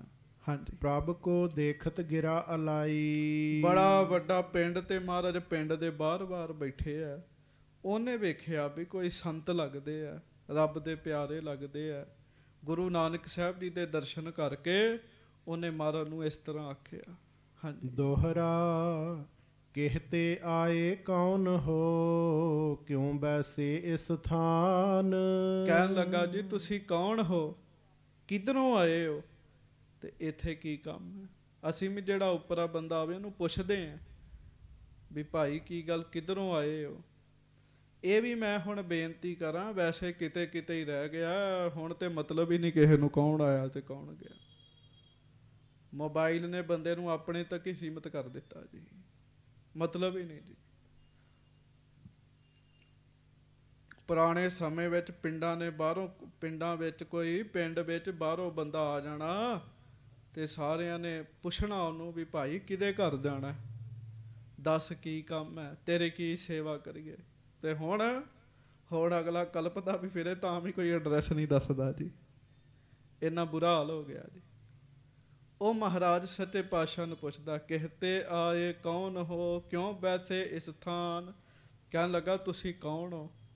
ਕਿਧਰੋਂ ਆਏ ਹੋ? ਤੇ ਕਿਸੇ ਨੂੰ ਮਿਲਣਾ ਹੈ ਇੱਥੇ? ਹਾਂਜੀ। ਕਿਸ ਸਿਉ ਤੁਮਰੋ ਕਾਮ ਹੈ ਮੁਖ ਤੇ ਸਾਚ ਬਖਾਨ? ਕਿਹਦੇ ਨਾਲ ਕਿਸੇ ਨਾਲ ਕੋਈ ਕੰਮ ਹੈ? ਮੈਨੂੰ ਦੱਸੋ ਮੈਂ ਤੁਹਾਡੀ ਕੀ ਮਦਦ ਕਰਾਂ? ਮੈਂ ਤੁਹਾਡੀ ਕੀ ਮਦਦ ਕਰਾਂ? ਇਸ ਤਰ੍ਹਾਂ ਪੁੱਛਣਾ ਚਾਹੀਦਾ। ਸੰਗਤ ਜੀ ਕਿਸੇ ਨੂੰ ਪੁੱਛ ਕੇ ਉਹਦੀ ਮਦਦ ਕਰਨੀ ਚਾਹੀਦੀ ਹੈ ਇਹ ਤਾਂ ਚਲੋ ਆਪ ਨਿਰੰਕਾਰ ਨੇ ਗੁਰੂ ਨਾਨਕ ਸਾਹਿਬ। ਹਾਂਜੀ। ਚੌਪਈ ਤਿਹ ਸੋ ਬਚਨ ਕਹਿਓ ਸੁਖਦਾਏ ਧੰਨ ਗੁਰੂ ਨਾਨਕ ਦੇਵ ਸਾਹਿਬ ਸੁਖ ਦੇਣ ਵਾਲੇ ਸੱਚੇ ਪਾਤਸ਼ਾਹ। ਮਹਾਰਾਜ ਬਾਹਰ ਬੈਠੇ ਨਾਲ ਭਾਈ ਬਾਲਾ ਜੀ ਹੈ ਸੱਚੇ ਪਾਤਸ਼ਾਹ ਜੀ ਨੇ ਬਚਨ ਕੀਤਾ। ਹਮ ਹੈ ਬੰਦੇ ਲਖੋਂ ਖੁਦਾਏ। ਉਹਨੇ ਪੁੱਛਿਆ ਕੌਣ ਹੋ? ਤੇ ਮਹਾਰਾਜ ਕਹਿੰਦੇ ਰੱਬ ਦੇ ਬੰਦੇ ਆ ਕਹਿਣ ਲੱਗੇ। ਗੱਜ ਕੇ ਆਖੋ ਵਾਹਿਗੁਰੂ। ਰੱਬ ਦੇ ਹੀ ਬੰਦੇ ਆ। ਹਾਂਜੀ। ਇੱਕ ਮਾਨਵ ਸੋ ਹਮਰੋ ਕਾਜਾ। ਇੱਥੇ ਇਸ ਨਗਰ ਵਿੱਚ ਇੱਕ ਮਨੁੱਖ ਨਾਲ ਸਾਨੂੰ ਕੰਮ ਹੈਗਾ ਜੀ। ਹੁਣ ਤੁਸੀਂ ਵੇਖੋ ਮਹਾਰਾਜ ਤੇ ਉਸ ਇਲਾਕੇ 'ਚ ਆਏ ਨਹੀਂ ਜੀ। ਪਰ ਫਿਰ ਵੀ ਮਹਾਰਾਜ ਕਹਿੰਦੇ ਇੱਕ ਬੰਦੇ ਨਾਲ ਸਾਨੂੰ ਕੰਮ ਹੈ। ਇਹਦਾ ਮਤਲਬ ਜਿਹਦੇ ਨਾਲ ਕੰਮ ਹੈਗਾ ਉਹਦੀ ਪੂਰਬਲੀ ਭਗਤੀ ਹੈ ਜੀ ਕੋਈ। ਤੇ ਮਹਾਰਾਜ ਉਹਦਾ ਭਲਾ ਕਰਨ ਆਏ ਹੈ। ਜਾਂ ਤੇ ਉਹਦੀ ਭਗਤੀ ਹੈ ਤੇ ਜਾਂ ਉਹ ਵਿਗੜੀ ਹੋਈ ਬਿਰਤੀ ਦਾ ਬੰਦਾ ਤੇ ਮਹਾਰਾਜ ਉਹਨੂੰ ਸਿੱਧਿਆਂ ਕਰਨ ਆਏ ਹੈ। ਹਾਂਜੀ। ਮਿਲੋ ਤਾਹੇ ਸੋ ਕਹੋ ਨਾ ਪਾਜਾ। ਤੇ ਮਹਾਰਾਜ ਗਰੀਬ ਨਵਾਜ ਕਹਿੰਦੇ ਉਹਨੂੰ ਹੀ ਮਿਲਣਾ ਹੈ। ਹੋਰ ਤੇ ਕੋਈ ਸਾਨੂੰ ਕੰਮ ਨਹੀਂ ਹੈ। ਹਾਂਜੀ। ਬੂਝੈ ਖਾਨ ਕੌਣ ਨਰ ਸੋਏ ਤੇ ਉਹ ਪਠਾਨ ਮਹਾਰਾਜ ਨੂੰ ਬੜੀ ਨਿਮਰਤਾ ਨਾਲ ਪੁੱਛਦਾ ਕਹਿਣ ਲੱਗਾ ਜੀ ਉਹ ਕੌਣ ਨੇ ਜਿਨ੍ਹਾਂ ਨੂੰ ਫਿਰ ਤੁਸੀਂ ਮਿਲਣਾ? ਹਾਂਜੀ। ਜਿਹ ਸੋ ਮਿਲਨ ਤੁਮਹਾਰਾ ਹੋਏ ਗੁਰੂ ਪਨੈ ਖੱਤਰੀ ਤਿਹ ਜਾਨ ਆਹੈ ਸੋ ਖਾਨ ਚੰਦ ਕੋ ਤਾਤ। ਮਹਾਰਾਜ ਕਹਿਣ ਲੱਗੇ ਖੱਤਰੀ ਹੈ ਤੇ ਖਾਨ ਚੰਦ ਦਾ ਪੁੱਤ ਹੈ। ਗੱਜ ਕੇ ਆਖੋ। ਵਾਹਿਗੁਰੂ। ਉਹਦੇ ਪਿਤਾ ਦਾ ਨਾਮ ਹੈ ਖਾਨ ਚੰਦ ਤੇ ਮਹਾਰਾਜ ਕਹਿੰਦੇ ਹੁਣ ਉਹਦਾ ਨਾਮ ਸੁਣ। ਹਾਂਜੀ। ਮਾਨ ਚੰਦ ਹੈ ਜਾਂ ਕੋ ਨਾਮੂ? ਤੇ ਜਿਹਦੇ ਨਾਲ ਕੰਮ ਹੈ ਉਹਦਾ ਨਾਮ ਕੀ ਹੈ? ਮਾਨ ਚੰਦ ਹੁਣ ਤੁਸੀਂ ਕਥਾ ਬੜੀ ਸੁਣ ਲਈ ਇੰਨੇ ਕਿਤੇ ਅਰਥ ਤੁਹਾਨੂੰ ਉਦਾਂ ਹੀ ਪਤਾ ਲੱਗ ਜਾਂਦੇ ਜੀ। ਕੀ ਨਾਮ ਉਹਦਾ? ਮਾਨ ਚੰਦ ਮਾਨ ਚੰਦ ਮਹਾਰਾਜ ਕਹਿੰਦੇ ਉਹਦਾ ਨਾਮ ਮਾਨ ਚੰਦ ਵੇਖ ਲਓ ਗੁਰੂ ਨਾਨਕ ਸਾਹਿਬ ਜੀ ਦੀ ਖੇਡ। ਕਿੱਥੇ ਕੰਧਾਰ ਹੈ ਜੀ? ਤੇ ਕੰਧਾਰ ਤੋਂ ਅੱਗੇ ਪਿੰਡ ਹੈ ਜੀ। ਤੇ ਪਿੰਡ 'ਚ ਖਾਨ ਚੰਦ ਦਾ ਪੁੱਤ ਮਾਨ ਚੰਦ ਰਹਿੰਦਾ ਹੈ ਤੇ ਮਹਾਰਾਜ ਨੂੰ ਉਹਦਾ, ਉਹਦੇ ਨਾਲ ਕੰਮ ਹੈਗਾ ਜੀ। ਉਹਦਾ ਕਾਰਨ ਪਤਾ ਕੀ ਹੈ? ਮਹਾਂਪੁਰਖ ਆਪਣੇ ਸੰਗੀ ਸਾਥੀਆਂ ਨੂੰ ਆਪ ਹੀ ਲੱਭ ਲੈਂਦੇ ਆ ਜੀ। ਹਾਂਜੀ। ਮਾਨ ਚੰਦ ਹੈ ਜਾਂ ਕੋ ਨਾਮੂ, ਤਿਹ ਕੇ ਸੰਗ ਹਮਾਰੋ ਕਾਮੂ, ਖਾਨ ਭਨੇ ਹੈ ਗੁਰਾਮ ਮਝਾਰਾ ਮਿਲੋ ਜਾਏ ਕੇ ਤਾਹੇ ਅਗਾਰਾ। ਉਹ ਪਠਾਨ ਕਹਿਣ ਲੱਗਾ ਕਹਿਣ ਲੱਗਾ ਜੀ ਉਹ ਫਿਰ ਪਿੰਡ ਵਿੱਚ ਗਿਆ ਜੀ। ਹਾਂਜੀ। ਖੱਤਰੀ ਕੋ ਸੁਧ ਦੇਵਤ ਭਇਓ। ਤੇ ਫਿਰ ਉਹਨੇ ਮਾਨ ਚੰਦ ਨੂੰ ਦੱਸਿਆ ਜੀ ਕੀ ਦੱਸਦਾ ਧਿਆਨ ਨਾਲ ਸੁਣੋ। ਹਾਂਜੀ। ਬਾਹਰ ਦਵੈ ਫਕੀਰ ਹੈ ਬੈਸੇ। ਕਹਿਣ ਲੱਗਾ ਮਾਨ ਚੰਦ ਬਾਹਰ ਦੋ ਫਕੀਰ ਬੈਠੇ ਆ ਬਾਹਰ ਦੋ ਫਕੀਰ ਬੈਠੇ ਆ ਹਾਂਜੀ। ਮੈਂ ਬੂਝਿਓ ਸੋ ਭਾਖਤ ਐਸੇ। ਜਦੋਂ ਮੈਂ ਉਹਨਾਂ ਨੂੰ ਪੁੱਛਿਆ ਵੀ ਤੁਹਾਨੂੰ ਕਿਸੇ ਨਾਲ ਕੰਮ ਹੈ ਤੇ ਉਹਨਾਂ ਅੱਗੋਂ ਇਸ ਤਰ੍ਹਾਂ ਆਖਿਆ ਹਾਂਜੀ। ਮਾਨ ਚੰਦ ਖੱਤਰੀ ਜੋ ਰਹੀ ਤਿਹ ਸੰਗ ਹਮਰੋ ਕਾਰਜ ਅਹੀ। ਉਹਨ ਤੇਰਾ ਨਾਮ ਲੈਂਦੇ ਆ। ਕਹਿੰਦੇ ਆ ਮਾਨ ਚੰਦ ਖੱਤਰੀ ਨਾਲ ਸਾਨੂੰ ਕੰਮ ਹੈ ਹਾਂਜੀ। ਰਹਿਓ ਬੁਲਾਏ ਸੋ ਆਵਤ ਨਾਹੀ। ਤੇ ਮੈਂ ਤਾਂ ਉਹਨਾਂ ਨੂੰ ਕਿਹਾ ਸੀ ਵੀ ਆ ਜਾਓ ਪਰ ਉਹ ਕਹਿੰਦੇ ਨਹੀਂ ਪਿੰਡ ਦੇ ਵਿੱਚ ਨਹੀਂ ਆਉਣਾ। ਹਾਂਜੀ। ਤੁਮ ਦੇਖੋ ਤਿਨ ਕੋ ਤਿਹ ਜਾਈ। ਤੇ ਹੁਣ ਕਿਰਪਾ ਕਰੋ ਵਾਹਿਗੁਰੂ ਖਾਨ ਚੰਦ ਮਾਨ ਚੰਦ ਉਠ। ਉੱਠ ਕੇ ਉਹਨਾਂ ਦੇ ਦਰਸ਼ਨ ਕਰ ਜਾ ਕੇ ਬਾਹਰ ਫਕੀਰ ਆਏ ਤੈਨੂੰ ਮਿਲਣ। ਹਾਂਜੀ। ਦੋਹਰਾ ਮਾਨ ਚੰਦ ਬੋਲਿਓ ਬਾਹਰ ਮੇਰੀ ਨਹੀਂ ਪਛਾਨ ਗੱਜ ਕੇ ਆਖੋ। ਨੂੰ ਨਹੀਂ ਮਿਲਿਆ। ਨਾ ਮੈਨੂੰ ਕੋਈ ਖਾਸ ਸ਼ੌਂਕ ਹੈ ਤੇ ਮੈਂ ਤੇ ਫਕੀਰਾਂ ਨੂੰ ਮਿਲਦਾ ਹੀ ਨਹੀਂ ਹੈ। ਹਾਂਜੀ। ਚੌਪਈ ਕਹੈ ਖਾਨ ਦੇਖੋ ਤੁਮ ਜਾਈ। ਤੇ ਉਹ ਪਠਾਨ ਕਹਿਣ ਲੱਗਾ ਚੱਲ ਜਾਣਦਾ ਨਹੀਂ ਜਾਣਦਾ ਗੱਲ ਵੱਖਰੀ ਜਾ ਕੇ ਵੇਖ ਤੇ ਸਹੀ ਕੌਣ ਨੇ। ਹਾਂਜੀ। ਮਿਲੇ ਸਾਧ ਨਹਿ ਦੋਖ ਲਗਾਈ। ਗੱਜ ਕੇ ਆਖੋ। ਸੰਗਤ ਜੀ ਆ ਗੱਲ ਉਸ ਪਠਾਨ ਨੇ ਬੜੀ ਕੀਮਤੀ ਕਹੀ ਹੈ। ਪਠਾਨ ਕਹਿਣ ਲੱਗਾ ਕਹਿਣ ਲੱਗਾ, ਰੱਬ ਦੇ ਪਿਆਰਿਆਂ ਨੂੰ ਮਿਲਣ ਨਾਲ ਦੋਸ਼ ਨਹੀਂ ਲੱਗਦਾ। ਭਲਾ ਹੀ ਹੁੰਦਾ ਉਹ ਰੱਬ ਦੇ ਖੁਦਾ ਦੇ ਪਿਆਰੇ ਆ ਤੇ ਤੈਨੂੰ ਮਿਲਣਾ ਤੇ ਚਾਹੀਦਾ ਹੈ ਨਾ। ਮਿਲਣਾ ਤੇ ਚਾਹੀਦਾ ਸੰਗਤ ਜੀ, ਇੱਕ ਗੱਲ ਚੇਤਾ ਰੱਖਿਓ। ਜਿੱਥੇ ਤੁਹਾਨੂੰ ਪਤਾ ਲੱਗੇ ਕੋਈ ਰੱਬ ਦਾ ਪਿਆਰਾ ਰਹਿੰਦਾ ਹੈ ਉੱਥੇ ਤੇ ਵੱਲ ਭੰਨ ਕੇ ਵੀ ਮਿਲਣਾ ਚਾਹੀਦਾ ਹੈ ਜੀ। ਭਲਾ ਹੁੰਦਾ ਹੈ। ਹਾਂਜੀ। ਇਉਂ ਸੁਨ ਕੇ ਔਰ ਕੀਨ ਵਿਚਾਰਾ। ਇਹ ਸੁਣ ਕੇ ਮਾਨ ਚੰਦ ਆਪਣੇ ਮਨ ਵਿੱਚ ਵਿਚਾਰ ਕਰਦਾ ਜੀ। ਹਾਂਜੀ। ਉਭੈ ਸੇਰ ਮੇਵਾ ਕਰ ਧਾਰਾ। ਵੀ ਚਲੋ ਫਿਰ ਚਲੇ ਜਾਂਦੇ ਆ। ਵੈਸੇ ਮੈਂ ਕਦੀ ਨਾਮ ਤੇ ਨਹੀਂ ਸੁਣਿਆ। ਕੱਜ ਕੇ ਆਖੋ। ਵਾਹਿਗੁਰੂ। ਪਰ ਤੁਸੀਂ ਗੁਰੂ ਨਾਨਕ ਸਾਹਿਬ ਬਾਰੇ ਸੋਚੋ ਮਹਾਰਾਜ ਕਿੱਡੇ ਕਿਰਪਾਲੂ ਦਿਆਲੂ। ਵੇਖੋ ਜਿਹੜੇ ਬੰਦੇ ਜਾਣਦੇ ਨਹੀਂ ਹੈਗੇ ਮਹਾਰਾਜ ਉਹਨਾਂ ਨੂੰ ਜਾਣਦੇ ਤੇ ਲੱਭ ਲੱਭ ਕੇ ਭਲਾ ਕਰ ਰਹੇ ਆ। ਲੱਭ ਲੱਭ ਕੇ। ਦੋ ਸੇਰ ਮੇਵੇ ਉਹਨੇ ਨਾਲ ਲਏ ਜੀ ਸੰਤਾਂ ਨੂੰ ਖਾਲੀ ਨਹੀਂ ਮਿਲਣਾ ਚਾਹੀਦਾ। ਹਾਂਜੀ। ਸ਼੍ਰੀ ਗੁਣ ਖਾਨੀ ਬੈਠੇ ਜਿਹਵਾ। ਸ਼੍ਰੀ ਗੁਣ ਖਾਨੀ ਬੈਠੇ ਜਿਹਵਾ। ਗੁਣਾ ਦੀ ਖਾਨ ਧੰਨ ਗੁਰੂ ਨਾਨਕ ਸਾਹਿਬ ਜਿੱਥੇ ਬੈਠੇ ਸਨ ਨਾ ਜੀ ਪਿੰਡ ਦੇ ਬਾਹਰ-ਬਾਹਰ ਹਾਂਜੀ। ਵੱਡ ਭਾਗੀ ਚਲ ਆਇਓ ਤਿਹਵਾ ਉਹ ਫਿਰ ਵੱਡੇ ਭਾਗਾਂ ਵਾਲਾ ਮਾਨ ਚੰਦ ਉੱਥੇ ਸਤਿਗੁਰੂ ਜੀ ਨੂੰ ਮਿਲਣ ਵਾਸਤੇ ਆਇਆ। ਹਾਂਜੀ। ਦ્વੈ ਕਰ ਜੋਰ ਬੰਧਨਾ ਕਰਕੇ। ਹਾਂਜੀ। ਬੈਠਿਓ ਅਗਰਜ਼ ਮੇਵਾ ਧਰ ਕੇ ਸੰਗਤ ਜੀ ਭਲੇ ਲੋਕ ਸਨ। ਭਲੇ ਲੋਕ ਸਨ। ਅੱਜ ਤੇ ਗੁਰੂ ਤੇ ਤਰਕਾਂ ਕਰੀ ਜਾਣਗੇ। ਉਹਨੇ ਦੋਵੇਂ ਹੱਥ ਜੋੜ ਕੇ ਪਹਿਲਾਂ ਮੱਥਾ ਟੇਕਿਆ ਜੀ। ਉਹਨੂੰ ਪਤਾ ਨਹੀਂ ਕੌਣ ਨੇ। ਮੱਥਾ ਟੇਕਿਆ ਮੇਵੇ ਅੱਗੇ ਰੱਖੇ ਤੇ ਸਤਿਗੁਰੂ ਜੀ ਦੇ ਸਾਹਮਣੇ ਬੈਠ ਗਿਆ ਜੀ। ਮਹਾਰਾਜ ਬੈਠੇ ਸੱਚੇ ਪਾਤਸ਼ਾਹ। ਹਾਂਜੀ। ਸ਼੍ਰੀ ਗੁਰ ਕੋਮਲ ਬਚਨ ਉਚਾਰੇ ਮਾਨ ਚੰਦ ਸਭ ਕੁਸ਼ਲ ਤੁਮਾਰੇ। ਤੇ ਫਿਰ ਗੁਰੂ ਨਾਨਕ ਸਾਹਿਬ ਉਹਦਾ ਨਾਮ ਲੈ ਕੇ ਉਹਦੇ ਨਾਲ ਗੱਲ ਕਰਦੇ ਜੀ। ਉਹਦਾ ਨਾਮ ਲੈ ਕੇ। ਉਹਨੂੰ ਨਹੀਂ ਪਤਾ ਮਹਾਰਾਜ ਦਾ ਕੀ ਨਾਮ ਹੈ। ਪਰ ਮਹਾਰਾਜ ਉਹਦਾ ਨਾਮ ਲੈਂਦੇ। ਸੱਚੇ ਪਾਤਸ਼ਾਹ ਮਹਾਰਾਜ ਬਚਨ ਕਰਦੇ। ਮਹਾਰਾਜ ਕਹਿੰਦੇ ਕਿਉਂ ਮਾਨ ਚੰਦ? ਸਭ ਠੀਕ ਠਾਕ ਹੈ? ਹਾਂਜੀ। ਬੂਝਨ ਲੱਗਿਓ ਸੋ ਕਬ ਨਾ ਜਾਣੋ ਬੂਝਨ ਲੱਗਿਓ ਸੋ ਕਬ ਕੇ ਜਾਣੋ ਆਗੇ ਮਿਲੇ ਨਾ ਕਸ ਪਹਿਚਾਨੋ। ਉਹ ਫਿਰ ਜਦੋਂ ਮਹਾਰਾਜ ਦੇ ਮੁਖੋਂ ਆਪਣਾ ਨਾਮ ਸੁਣਦਾ ਨਾ, ਹੁਣ ਤੁਹਾਨੂੰ ਕੋਈ ਬਾਹਰੋਂ ਬੰਦਾ ਆ ਕੇ ਕਵੇ, ਸੁਣਾ ਵੀ ਯਾਦਵਿੰਦਰ ਸਿੰਘ ਕੀ ਹਾਲ ਹੈ? ਹਾਂਜੀ? ਤੇ ਬੰਦਾ ਸੋਚਦਾ ਵੀ ਮੈਂ ਤੇ ਕਦੀ ਮਿਲਿਆ ਗਿਲਿਆ ਹੀ ਨਹੀਂ। ਮਹਾਰਾਜ ਕਹਿੰਦੇ, ਮਾਨਚੰਦ, ਸੁਣਾ ਕੀ ਹਾਲ ਹੈ? ਰਾਜੀ ਖੁਸ਼ੀ ਹੈ? ਤੇ ਮਾਨਚੰਦ ਕਹਿਣ ਲੱਗਾ, ਜੀ, ਮੈਨੂੰ ਕਦੋਂ ਕਦੇ ਜਾਣਦੇ ਹੋ ਤੁਸੀਂ? ਮੈਨੂੰ ਕਦੋਂ ਕਦੇ ਜਾਣਦੇ? ਮੈਂ ਤੇ ਅੱਗੇ ਨਹੀਂ ਮਿਲਿਆ। ਜਾਂ ਫਿਰ ਬੰਦਾ ਇੱਕ ਹੋਰ ਗੱਲ ਕਹਿੰਦਾ ਹੁੰਦਾ ਜੀ ਪਛਾਣਿਆ ਨਹੀਂ ਤੁਹਾਨੂੰ। ਮਾਨਚੰਦ ਨੇ ਵੀ ਆਖਿਆ। ਹਾਂਜੀ। ਕੌਣ ਦੇਸ਼ ਕੋ ਬੇਸ ਤੁਮਹਾਰਾ?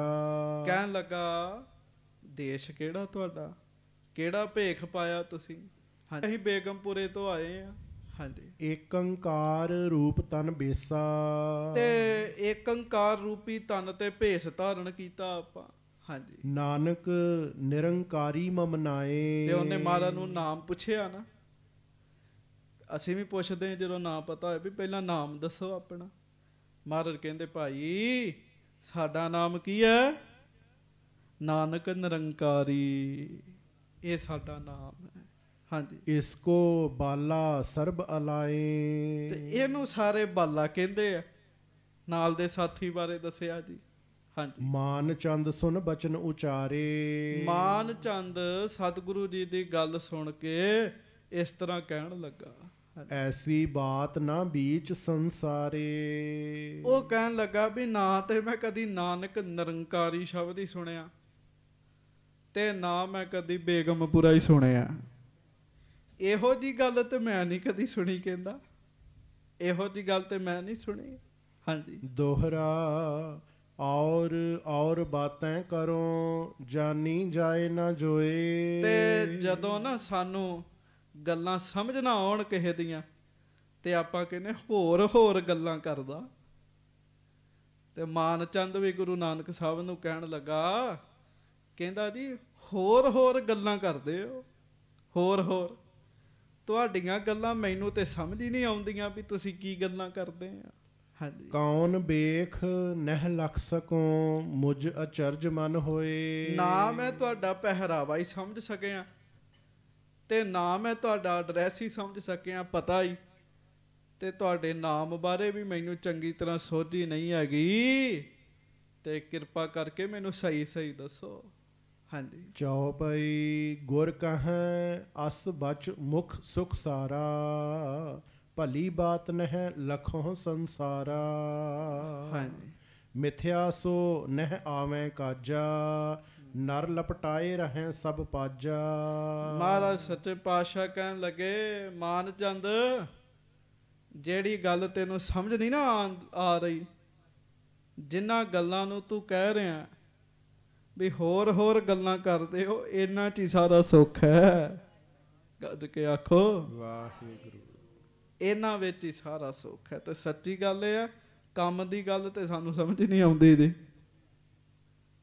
ਕੰਮ ਦੀ ਗੱਲ ਨਹੀਂ ਸਮਝ ਆਉਂਦੀ ਤੇ ਮਹਾਰਾਜ ਸੱਚੇ ਪਾਤਸ਼ਾਹ ਤਾੜਨਾ ਵੀ ਕਰਦੇ ਗੁਰਬਾਣੀ ਚ। ਜੇ ਰੇ ਜੀ ਲੱਜ, ਲਾਜ ਤੋਹੇ ਨਹੀਂ।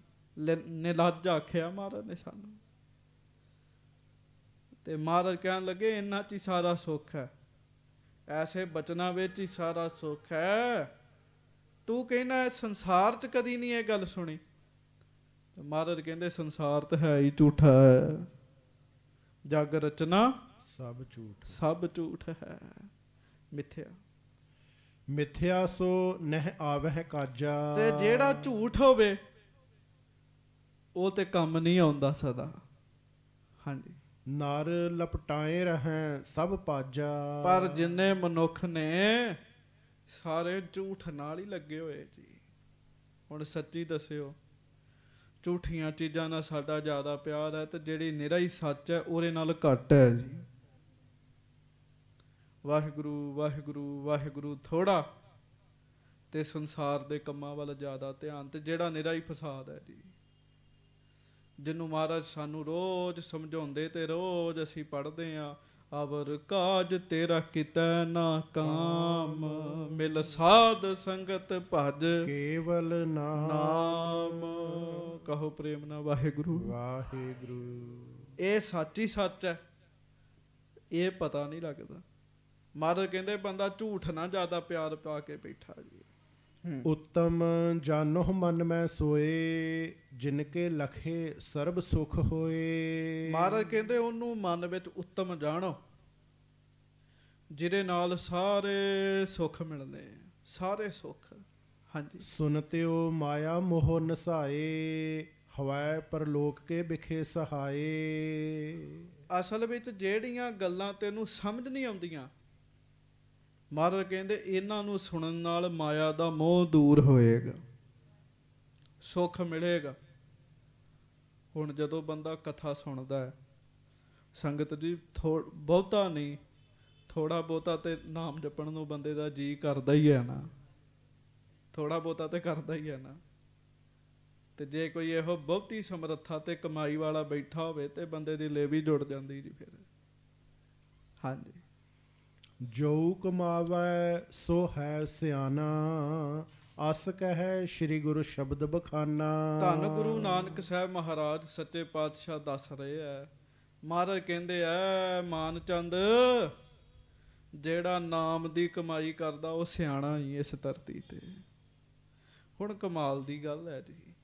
ਮਾਨਚੰਦ ਮਹਾਰਾਜ ਨੂੰ ਜਾਣਦਾ ਵੀ ਨਹੀਂ ਹੈ ਤੇ ਮਹਾਰਾਜ ਅੰਤਰਜਾਮੀ ਆ ਕੇ ਉਹਨੂੰ ਕਹੀ ਜਾਂਦੇ, ਨਾਮ ਜਪ। ਨਾਮ ਜਪ। ਇਹਦਾ ਮਤਲਬ ਮਾਨ ਚੰਦ ਦਾ ਗੁਰੂ ਸਾਹਿਬ ਨਾਲ ਕਿਤੇ ਨਾ ਕਿਤੇ ਕੋਈ ਸਬੰਧ ਹੈ। ਤਾਂ ਵੇਖੋ ਮਹਾਰਾਜ ਚੇਚਾ ਇਹਦੇ ਪਿੰਡ ਦੇ ਬਾਹਰ ਬੈਠੇ ਹੈ ਮਹਾਰਾਜ ਸੱਚੇ ਪਾਤਸ਼ਾਹ ਕਹਿੰਦੇ ਨਾਮ ਜਪਿਆ ਕਰ ਮਾਨ ਮਾਨਚੰਦ ਪਿਆਰਿਓ, ਕਈ ਵਾਰੀ ਜਿਹੜਾ ਸਾਡਾ ਆਪਣਾ ਹੋਵੇ, ਉਹ ਸਾਨੂੰ ਜਾਣਦਾ ਹੋਵੇ ਜਾਂ ਨਾ ਜਾਣਦਾ ਹੋਵੇ, ਬੰਦਾ ਆਪੇ ਉਹਦੇ ਭਲੇ ਦਾ ਕੰਮ ਕਰੀ ਜਾਂਦਾ ਹੈ ਜੀ। ਹਾਂਜੀ। ਅਸ ਕਹਿ ਸ੍ਰੀ ਗੁਰੂ ਸ਼ਬਦ ਬਖਾਨਾ। ਇਹ ਕਹਿ ਕੇ ਮਹਾਰਾਜ ਕਹਿੰਦੇ ਤੈਨੂੰ ਗੁਰਬਾਣੀ ਸੁਣਾਉਂਦੇ ਆ ਤੈਨੂੰ ਸ਼ਬਦ ਸੁਣਾਉਂਦੇ ਆ। ਹਾਂਜੀ। ਜਿਹ ਤੇ ਸੁਨਤਿਓ ਤਹ ਸੁਧ ਆਈ। ਲੈ ਉਪਦੇਸ਼ ਪਰਮਗਤ ਪਾਈ। ਕਵੀ ਸੰਤੋਖ ਸਿੰਘ ਲਿਖਦੇ ਆ ਫਿਰ ਇਹ ਸ਼ਬਦ ਮਾਨ ਚੰਦ ਨੇ ਸੁਣਿਆ ਜੀ।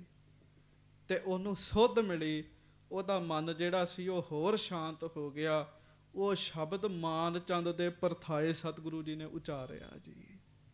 ਹਾਂਜੀ।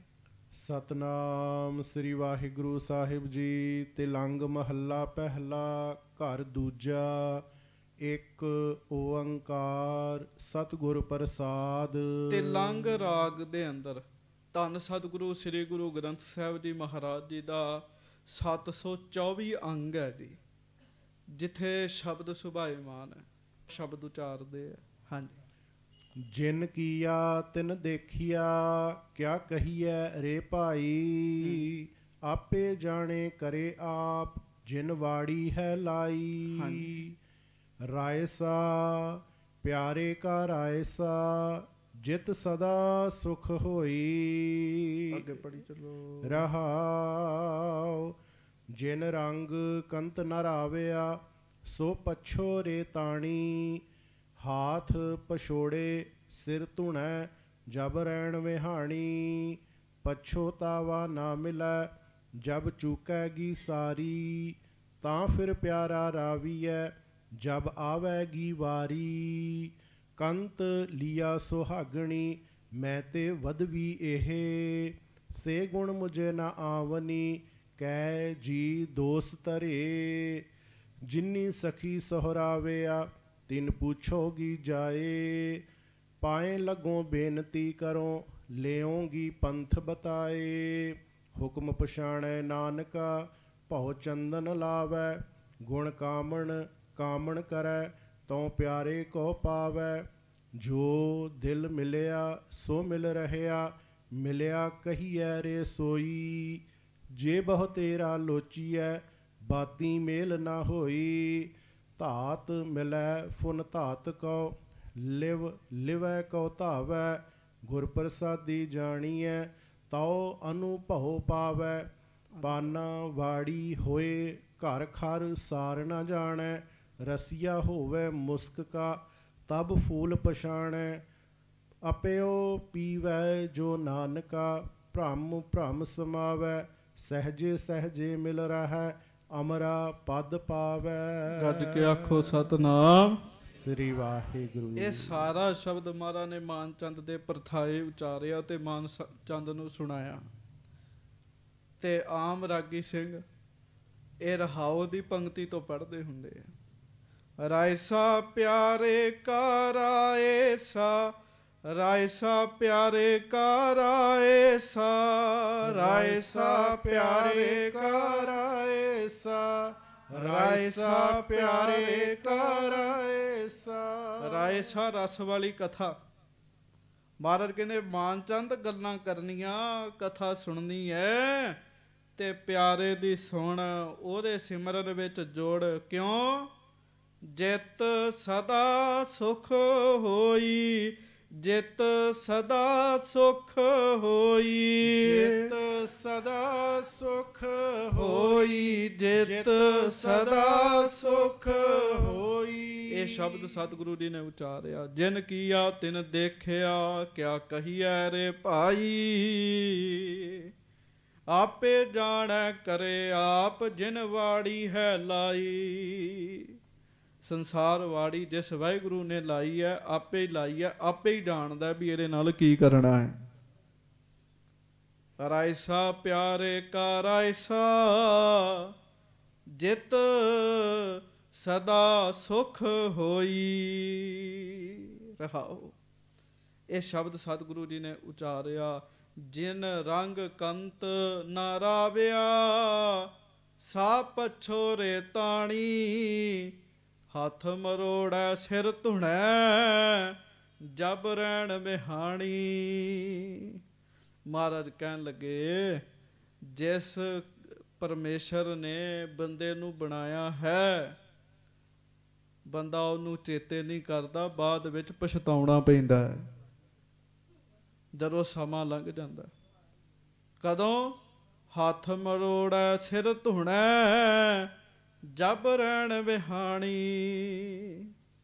ਜਦੋਂ ਜ਼ਿੰਦਗੀ ਰੂਪੀ ਰਾਤ ਲੰਘ ਗਈ ਤੇ ਨਾਮ ਨਾ ਜਪਿਆ ਗਿਆ ਫਿਰ ਬੰਦਾ ਪਛਤਾਉਂਦਾ ਹੈ ਹੱਥ ਮਲਦਾ ਹੈ ਸਿਰ ਹਿਲਾਉਂਦਾ ਹੈ ਦੁਖੀ ਹੁੰਦਾ ਜਿਹੜਾ ਕੰਮ ਕਰਨਾ ਸੀ ਉਹ ਕੀਤਾ ਹੀ ਨਹੀਂ ਗਿਆ। ਜੀ ਗੱਜ ਕੇ ਆਖ ਦਿਓ। ਵਾਹਿਗੁਰੂ। ਆ ਕਰਨਾ ਸੀ ਜਪਿਆ ਹੀ ਨਹੀਂ ਗਿਆ। ਹੁਣ ਤੁਸੀਂ ਵੇਖ ਲਓ ਮੈਂ ਵੀ ਵੇਖ ਲਾਂ ਸਵੇਰ ਦਾ ਕਿੰਨਾ ਕੁ ਨਾਮ ਜਪਿਆ ਜੀ ਆਪਾਂ। ਤੇ ਜੀਵਨ ਤੇ ਮਿਲਿਆ ਸੀ ਇਸ ਵਾਸਤੇ। ਕਿੰਨਾ ਕੁ ਨਾਮ ਜਪ ਲਿਆ ਜੀ। ਮਹਾਰਾਜ ਸੱਚੇ ਪਾਤਸ਼ਾਹ ਨੇ ਸਾਰਾ ਸ਼ਬਦ ਉਚਾਰਿਆ। ਪਛੋਤਾਵਾ ਨਾ ਮਿਲੇ ਜਬ ਚੁਕੈਗੀ ਸਾਰੀ ਤਾਂ ਫਿਰ ਪਿਆਰਾ ਰਾਵੀਐ ਜਬ ਆਵੇਗੀ ਵਾਰੀ। ਗੱਜ ਕੇ ਆਖੋ। ਵਾਹਿਗੁਰੂ। ਮਹਾਰਾਜ ਗਰੀਬ ਨਵਾਜ ਕਹਿਣ ਲੱਗੇ ਜੀਵਨ ਖੇਡ ਜਦੋਂ ਖਤਮ ਹੋ ਜਾਂਦੀ ਹੈ ਫਿਰ ਪਛਤਾਉਣ ਦਾ ਲਾਭ ਕੋਈ ਨਹੀਂ ਹੈਗਾ ਜੀ। ਫਿਰ ਪਛਤਾਉਣ ਦਾ ਕੀ ਮਤਲਬ? ਜਦੋਂ ਜੀਵਨ ਖੇਡ ਹੀ ਲੰਘ ਗਈ ਤੇ ਮਹਾਰਾਜ ਸੱਚੇ ਪਾਤਸ਼ਾਹ ਕਹਿਣ ਲੱਗੇ, ਫਿਰ ਕਹਿਣ ਲੱਗੇ, ਕੋਈ ਲਾਭ ਨਹੀਂ ਹੈ। ਫਿਰ ਆਪਣੇ ਮਾਲਕ ਨੂੰ ਮੌ- ਮਿਲਣ ਦਾ ਮੌਕਾ ਉਦੋਂ ਮਿਲੇਗਾ ਜਦੋਂ ਫਿਰ ਮਨੁੱਖਾ ਸਰੀਰ ਮਿਲੇਗਾ। ਤੇ ਮਨੁੱਖਾ ਸਰੀਰ ਐਵੇਂ ਨਹੀਂ ਮਿਲਣਾ, ਕਿਵੇਂ ਮਿਲਣਾ? 84 ਲੱਖ ਜੂਨ ਭੁਗਤ ਕੇ ਮਿਲਣਾ ਹੈ। ਗੱਜ ਕੇ ਆਖੋ। ਵਾਹਿਗੁਰੂ। 84 ਲੱਖ ਜੂਨ ਭੁਗਤਣੀ ਪਵੇਗੀ ਫਿਰ ਮਿਲੇਗਾ। ਤੇ ਧੰਨ ਗੁਰੂ ਨਾਨਕ ਸਾਹਿਬ ਮਹਾਰਾਜ ਕਹਿਣ ਲੱਗੇ ਸਤਿਗੁਰੂ ਕਹਿਣ ਲੱਗੇ ਪਛੋਤਾਵਾ ਨਾ ਮਿਲੇ ਜਬ ਚੁਕੈਗੀ ਸਾਰੀ। ਜਦੋਂ ਵੇਲਾ ਲੰਘ ਗਿਆ ਫਿਰ ਪਛਤਾਉਣ ਦਾ ਵੀ ਕੀ ਫਾਇਦਾ? ਫਿਰ ਕੀ ਹੋਏਗਾ? ਤਾਂ ਫਿਰ ਪਿਆਰਾ ਰਾਬੀਆ ਜਬ ਆਵੇਗੀ ਵਾਰੀ। 84 ਲੱਖ ਜੂਨਾ ਭੁਗਤਣੀਆਂ ਪੈਣਗੀਆਂ, ਉਹਦੇ ਤੋਂ ਬਾਅਦ ਸਰੀਰ ਮਿਲੇਗਾ। ਸਰੀਰ ਮਿਲੇਗਾ, ਫਿਰ ਜਾ ਕੇ ਪਤਾ ਨਹੀਂ ਨਾਮ ਜਪਿਆ ਜਾਣਾ ਕਿ ਨਹੀਂ ਜਪਿਆ ਜਾਣਾ। ਤੇ ਮਹਾਰਾਜ ਕਹਿਣ ਲੱਗੇ, ਜੇ ਇਸ ਕਰਕੇ ਕੋਈ ਕੰਮ ਕਰਨਾ, ਤੇ ਰਾਇਸਾ ਪਿਆਰੇ ਕਾ, ਰਾਇਸਾ। ਉਸ ਪਿਆਰੇ ਵਾਹਿਗੁਰੂ ਦੀਆਂ ਸਿਫਤਾਂ ਕਰ। ਗੱਜ ਕੇ ਆਖੋ। ਵਾਹਿਗੁਰੂ। ਸੱਚੇ ਪਾਤਸ਼ਾਹ ਨੇ ਸਾਰਾ ਸ਼ਬਦ ਉਚਾਰਿਆ। ਕੰਤ ਲਿਆ ਸੁਹਾਗਣੀ ਮੈਂ ਤੇ ਵਧਵੀ ਏ। ਸੇ ਗੁਣ ਮੁਝੈ ਨ ਆਵਨੀ ਕੈ ਜੀ ਦੋਸ ਤਰੇ ਗੱਜ ਕੇ ਆਖੋ। ਸੱਚੇ ਪਾਤਸ਼ਾਹ ਗਰੀਬ ਨਵਾਜ ਕਹਿੰਦੇ, ਸੱਚੀ ਪਤਨੀ ਆਪਣੇ ਪਤੀ ਨੂੰ ਪਾ ਲੈਂਦੀ ਹੈ। ਜਿਹੜੇ ਗੁਰਮੁਖ ਨੇ ਰੱਬ ਨੂੰ ਮਿਲ ਜਾਂਦੇ ਆ, ਜਿੰਦਿਆਂ ਦੀ। ਮੇਰੇ ਨਾਲੋਂ ਉਹ ਵੱਧ ਕੇ ਚੰਗੇ ਐ, ਸਾਡੇ ਨਾਲੋਂ ਜੀ। ਇਹ ਆਪਾਂ ਕਹਿਣਾ ਜੀ। ਭਾਵ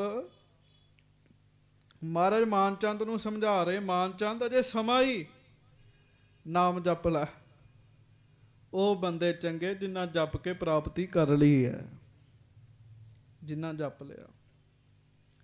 ਜਿੰਨੀ ਮਹਾਰਾਜ ਕਹਿਣ ਲੱਗੇ, ਕੰਤ ਲੀਆ ਸੁਹਾਗਣੀ, ਮੈਂ ਤੇ ਵਧਵੀ ਏ। ਸਾਡੇ ਨਾਲੋਂ ਕਿਤੇ ਚੰਗੇ ਨੇ, ਉਹ ਗੁਰਮੁਖ ਪਿਆਰੇ, ਜਿਨ੍ਹਾਂ ਨੇ ਵਾਹਿਗੁਰੂ ਦੀ ਪ੍ਰਾਪਤੀ ਕਰ ਲਈ ਹੈ। ਕਿਤੇ ਚੰਗੇ ਆ। ਸੇ ਗੁਣ ਮੁਝੈ ਨਾ ਆਵਨੀ, ਕਹਿ ਜੀ ਦੋਸ ਤਰੇ ਜਿਹੜੇ ਗੁਣ ਉਹਨਾਂ ਵਿੱਚ ਹੈ, ਜਿਨ੍ਹਾਂ ਕਰਕੇ ਰੱਬ ਉਹਨਾਂ ਨੂੰ ਮਿਲਿਆ, ਉਹ ਗੁਣ ਸਾਡੇ ਵਿੱਚ ਨਹੀਂ ਹੈਗੇ। ਦੋਸ਼ ਕਿਹਨੂੰ ਦਈਏ?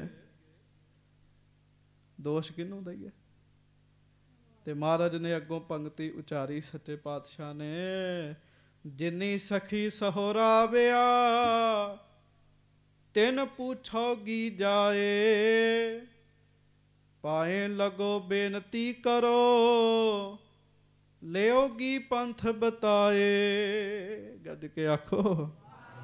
ਜਿਨ੍ਹਾਂ ਰੱਬ ਦੇ ਪਿਆਰਿਆਂ ਨੇ ਉਸ ਵਾਹਿਗੁਰੂ ਨੂੰ ਪ੍ਰਾਪਤ ਕਰ ਲਿਆ ਹੁਣ ਚਾਹੀਦਾ ਮਾਨ ਚੰਦ ਉਹਦੇ ਕੋਲ ਜਾਣਾ। ਉਹਨਾਂ ਦੇ ਕੋਲ ਜਾਣਾ ਉਹਨਾਂ ਦੇ ਪੈਰੀ ਪੈਣਾ। ਫਿਰ ਉਹਨਾਂ ਨੂੰ ਬੇਨਤੀ ਕਰਨੀ ਸਾਨੂੰ ਵੀ ਰਾਹ ਦੱਸ ਦਿਓ ਗੱਜ ਕੇ ਆਖੋ। ਵਾਹਿਗੁਰੂ। ਸਾਨੂੰ ਵੀ ਦੱਸੋ। ਉਹ ਮਾਲਕ ਕਿਵੇਂ ਮਿਲੇ? ਉਹਨਾਂ ਨੂੰ ਜਾ ਕੇ ਪੁੱਛਾਂਗੇ।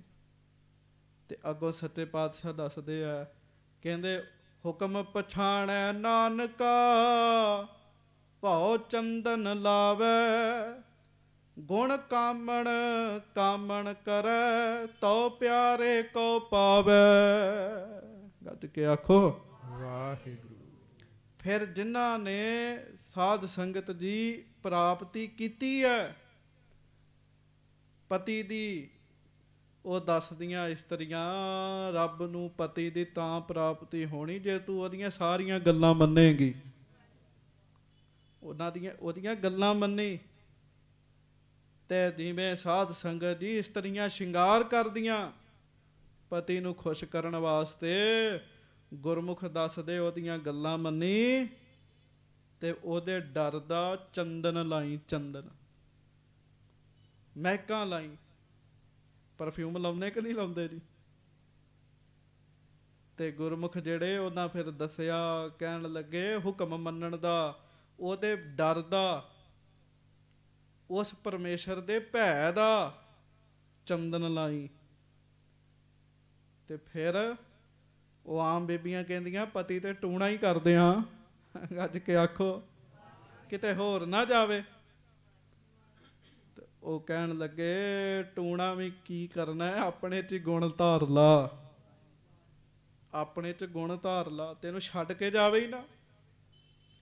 ਤਾਂ ਤੇਰੀ ਪ੍ਰਾਪਤੀ ਹੋਏਗੀ। ਹੁਣ ਗੱਲਾਂ ਬਾਹਰ ਦੀਆਂ ਵੀ ਐ, ਪਰ ਗੱਲ ਅੰਦਰ ਦੀ ਵੀ ਹੈ ਗੱਲ ਬਾਹਰੀ ਵਿਆਹ ਦੀ ਵੀ ਹੈ ਗੱਲ ਅੰਦਰ ਦੇ ਵਿਆਹ ਦੀ ਵੀ ਹੈ ਤੇ ਅੱਗੋਂ ਧੰਨ ਗੁਰੂ ਨਾਨਕ ਸਾਹਿਬ ਮਹਾਰਾਜ ਕਹਿਣ ਲੱਗੇ ਜੋ ਦਿਲ ਮਿਲਿਆ ਸੋ ਮਿਲ ਰਹਿਆ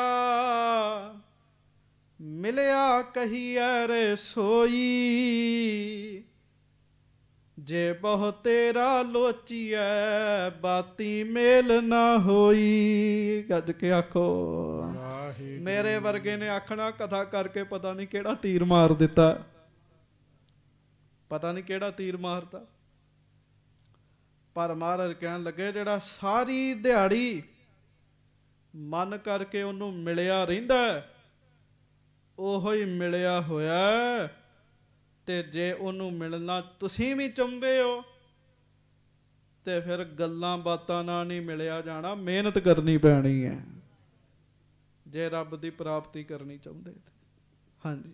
ਮਹਾਰਾਜ ਅੱਗੋਂ ਸੱਚੇ ਪਾਤਸ਼ਾਹ ਕਹਿੰਦੇ ਆ ਧਾਤ ਮਿਲੈ ਫੁਨ ਧਾਤ ਕੋ ਲੇਵ ਲਿਵੈ ਕੋ ਧਾਵੈ। ਗੁਰ ਪ੍ਰਸਾਦੀ ਜਾਣੀਐ ਜੋ ਅਨਭਵ ਪਾਵੈ। ਗੱਜ ਕੇ ਆਖੋ। ਵਾਹਿਗੁਰੂ।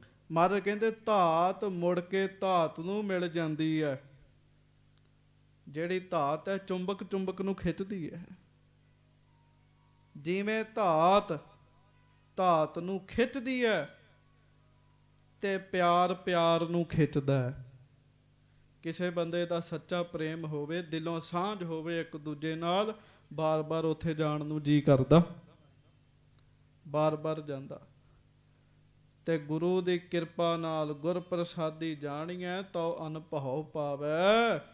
ਕਹਿਣ ਲੱਗੇ ਇਸੇ ਹੀ ਤਰ੍ਹਾਂ ਜਿਸ ਬੰਦੇ ਦੇ ਅੰਦਰ ਪਿਆਰ ਰੱਬ ਨਾਲ ਪੈਦਾ ਹੋ ਜਾਂਦਾ ਹੈ, ਫਿਰ ਗੁਰੂ ਦੀ ਕਿਰਪਾ ਨਾਲ ਉਸ ਅਨਭਉ ਵਾਹਿਗੁਰੂ ਜੀ ਦੀ ਪ੍ਰਾਪਤੀ ਹੁੰਦੀ ਹੈ। ਪਰ ਕਿਵੇਂ? ਗੁਰ ਪ੍ਰਸਾਦੀ ਜਾਣੀਐ ਗੁਰ ਪ੍ਰਸਾਦੀ ਜਾਣੀਐ। ਗੁਰ ਪ੍ਰਸਾਦੀ ਜਾਣੀਐ ਗੁਰ ਪ੍ਰਸਾਦੀ ਜਾਣੀਐ। ਖੇਡ ਸਾਰੀ ਗੁਰ ਪ੍ਰਸਾਦ ਤੇ ਟਿਕੀ ਹੈ। ਗੁਰ ਪ੍ਰਸਾਦੀ ਜਾਣੀ ਹੈ ਗੁਰੂ ਦੀ ਕਿਰਪਾ ਨਾਲ ਗੁਰੂ ਨਾਨਕ ਸਾਹਿਬ ਕਹਿੰਦੇ, ਮਾਨ ਚੰਦਾ ਜਾਣਿਆ ਜਾਣਾ ਹੀ ਆਪਣੀ ਮਰਜ਼ੀ ਨਾਲ ਨਹੀਂ ਹੁਣ ਬੰਦਾ ਸਾਧ ਸੰਗਤ ਡਾਕਟਰ ਬਣਨਾ ਹੋਵੇ, ਕਿਸੇ ਡਾਕਟਰ ਦੀ ਸੰਗਤ ਕਰੇ ਹੀ ਨਾ ਤੇ ਗੱਲ ਕਿੱਥੋਂ ਬਣੇਗੀ? ਤੇ ਸਾਧ ਸੰਗਤ ਜੀ, ਜੇ ਰੱਬ ਨਾਲ ਮਿਲਣਾ ਤੇ ਗੁਰੂ ਦੀ ਸੰਗਤ ਕਰਨੀ ਪੈਣੀ ਹੈ। ਅੱਗੋਂ ਮਹਾਰਾਜ ਕਹਿੰਦੇ ਆ, ਪਾਨਾ ਵਾੜੀ ਹੋਏ ਘਰ ਖਰ ਸਾਰ ਨਾ ਜਾਣੈ, ਰਸੀਆ ਹੋਵੇ ਮੁਸਕ ਕਾ, ਤਬ ਫੂਲ ਪਛਾਣੈ। ਮਹਾਰਾਜ ਕਹਿੰਦੇ, ਪਾਨ ਦੀਆਂ ਵੇਲਾਂ ਦੀ ਬਾੜੀ ਭਾਵੇਂ ਘਰ ਵਿੱਚ ਹੀ ਹੋਵੇ, ਪਰ ਮੂਰਖ ਗਧਾ ਸਾਧ ਸੰਗਤ ਦੀ ਉਹਦੀ ਕਦਰ ਨਹੀਂ ਜਾਣਦਾ ਵੀ ਪਾਨ ਦੀਆਂ ਵੇਲਾਂ, ਖੁਸ਼ਬੂ ਵਾਲੀਆਂ ਸਾਡੇ ਘਰ ਹੀ ਨੇ। ਉਹਦੀ ਕਦਰ ਕੌਣ ਜਾਣਦਾ? ਉਹਦੀ ਕਦਰ ਉਹ ਜਾਣਦਾ ਜਿਹੜਾ ਖੁਸ਼ਬੂ ਦਾ ਰਸੀਆ ਹੋਵੇ। ਉਹ ਫੁੱਲ ਦੀ ਕਦਰ ਜਾਣਦਾ ਫਿਰ ਪੰਕਤੀ ਸੁਣਿਓ। ਪਾਨਾ ਵਾੜੀ ਹੋਏ ਘਰ, ਖਰ ਸਦਾ ਗਦਾ ਵਾਹਿਗੁਰੂ।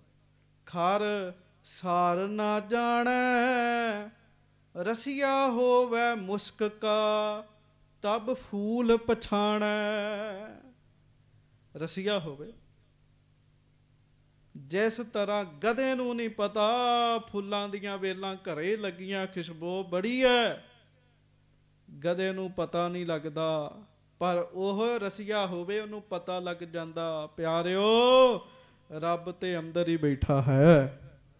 ਗੁਰੂ ਨਾਨਕ ਤੇਥੋਂ ਵਸ ਨਹੀਂ ਵੱਖ ਨਹੀਂ ਤੇਰੀ ਵੇਖਣ ਵਾਲੀ। ਅੱਖ। ਅੱਖ ਨਹੀਂ। ਉਹ ਤੇ ਵਿੱਚ ਹੀ ਬੈਠਾ ਹੈ ਪਰ ਮੇਰੇ ਵਰਗਾ ਬੰਦਾ ਬਾਹਰ ਲੱਭਦਾ। ਸਾਧਨਾ ਕਰਕੇ ਅੰਦਰ ਹੀ ਪ੍ਰਗਟ ਹੋਏਗਾ। ਹਰ ਸੱਜਣ ਪ੍ਰਗਟੇ ਆਏ। ਇਸ ਨਹੀਂ ਕਿਸੇ ਨਾ ਕਿਸੇ ਜਨਮ ਚ ਹੋਏਗਾ ਪਰ ਬੰਦਾ ਸਾਧਨਾ ਤੇ ਕਰੇ। ਅਪਿਓ ਪੀਵੈ ਜੋ ਨਾਨਕਾ ਭ੍ਰਮ ਭ੍ਰਮ ਸਮਾਵੈ। ਸਹਜੇ ਸਹਜੇ ਮਿਲ ਰਹਾ ਅਮਰਾ ਪਦ ਪਾਵੈ। ਸ਼ਬਦ ਦੀ ਸੰਪੂਰਨਤਾ ਕੀਤੀ। ਮਹਾਰਾਜ ਕਹਿੰਦੇ ਨਾਮ ਰੂਪੀ ਅੰਮ੍ਰਿਤ ਉਹੋ ਹੀ ਬੰਦਾ ਪੀਂਦਾ ਜੇ ਜਿਹੜਾ ਸੰਦੇਹ ਅਤੇ ਭਟਕਣਾ ਤੋਂ ਰਹਿਤ ਹੋ ਜਾਂਦਾ ਜਿਹੜਾ ਭਟਕਦਾ ਨਾ ਫਿਰੇ ਤੇ ਟਿਕ ਜਾਵੇ। ਜਪਣਾ ਤੇ ਪਏਗਾ ਹੀ ਨਾ। ਤੇ ਜਪਣਾ ਕਿਵੇਂ ਹੈ? ਪਹਿਲਾਂ ਸਰੀਰ ਨੂੰ ਟਿਕਾਉਣਾ ਪੈਂਦਾ ਫਿਰ ਮਨ ਟਿਕਦਾ ਪਹਿਲਾਂ ਟਿਕੇ ਭਟਕਣਾ ਤੋਂ ਰਹਿਤ ਜਿਹੜਾ ਹੁੰਦਾ ਹੈ, ਉਹ ਨਾਮ ਰੂਪੀ ਅੰਮ੍ਰਿਤ ਨੂੰ ਪੀਂਦਾ ਹੈ। ਸੁਭਾਵਕ ਹੀ ਸਵਾਮੀ ਨਾਲ ਅਭੇਦ ਹੋ ਜਾਂਦਾ ਤੇ ਅਮਰਾ ਪਦ ਪਾ ਲੈਂਦਾ। ਸਹਿਜੇ ਸਹਿਜੇ ਜੀ। ਮਹਾਰਾਜ ਨੇ ਮਾਨਚੰਦ ਨੂੰ ਇਹ ਸ਼ਬਦ ਸੁਣਾਇਆ। ਦੋਹਰਾ ਮਾਨ ਚੰਦ ਸੁਨ ਸ਼ਬਦ ਕੋ ਬੋਲਿਓ ਕੁਛ ਸੁਥ ਪਾਏ। ਮਾਨਚੰਦ ਇਹ ਸ਼ਬਦ ਸੁਣ ਕੇ ਕੁਝ ਸਮਝਿਆ ਗੱਲ ਜੀ ਕੁਝ ਤੁਹਾਨੂੰ ਸਮਝ ਲੱਗੀ ਜੀ ਸੁਣ ਕੇ ਜੀ? ਕੋਈ ਇੱਕ ਅੱਧੀ ਗੱਲ ਦੀ ਸਮਝ ਆ ਗਈ ਹੋਵੇ ਜੀ। ਕੀ ਸਮਝ ਆਈ ਜੀ? ਥੋੜਾ ਥੋੜਾ ਬੋਲਦੇ ਹੋ ਅੱਜ ਤੇ ਮੇਰੇ ਤੱਕ ਆ ਹੀ ਜਾਣੀ ਹੈ। ਹੈ? ਕੀ ਸਮਝ ਆਈ ਜੀ? ਹਾਂਜੀ? ਅੱਛਾ, ਨਾਮ ਲਓ ਤੇ ਵਾਹਿਗੁਰੂ ਅੰਦਰ ਹੀ ਹੈ। ਬਾਹਰ ਨਹੀਂ ਲੱਭਣਾ, ਅੰਦਰ ਹੀ ਹੈ। ਜਿਵੇਂ ਗਧੇ ਨੂੰ ਨਹੀਂ ਪਤਾ ਲੱਗਦਾ, ਘਰ ਵਿੱਚ ਹੀ ਸਾਰਾ ਕੁਝ ਹੈ, ਪਾਨਾ ਵਾੜੀ ਹੈ। ਜਿਵੇਂ ਉਹਨੂੰ ਨਹੀਂ ਪਤਾ ਲੱਗਦਾ, ਮੂਰਖ ਬੰਦੇ ਨੂੰ ਵੀ ਪਤਾ ਨਹੀਂ ਲੱਗਦਾ ਵੀ ਵਾਹਿਗੁਰੂ ਤੇ ਅੰਦਰ ਹੀ ਹੈ। ਗੁਰੂ ਨਾਨਕ ਤੇਥੋਂ ਵੱਖ ਨਹੀਂ, ਤੇਰੀ ਵੇਖਣ ਵਾਲੀ ਅੱਖ ਨਹੀਂ। ਇਹਨੂੰ ਸਮਝਣਾ ਪੈਣਾ। ਮਹਾਰਾਜ ਨੇ ਕਿੰਨੇ ਪ੍ਰਮਾਣ ਦਿੱਤੇ ਆ ਇਹਦੇ ਵਿੱਚ। ਇੱਕ ਵਿਆਹਤਾ ਇਸਤਰੀ ਦਾ ਪ੍ਰਮਾਣ ਦਿੱਤਾ। ਹੈ। ਫਿਰ ਦੁਹਾਗਣੀ ਦਾ ਦਿੱਤਾ। ਜਿਹਦਾ ਨਹੀਂ ਮਿਲਾਪ ਹੋਇਆ, ਉਹਨਾਂ ਦੇ ਕੋਲ ਜਾਓ। ਜਦੋਂ ਉਹਨਾਂ ਦੇ ਕੋਲ ਜਾਓਗੇ, ਉਹਨਾਂ ਨੇ ਵੀ ਇਹੋ ਹੀ ਕਹਿਣਾ, ਰੱਬ ਤੁਹਾਡੇ ਵਿੱਚ ਹੀ ਹੈ।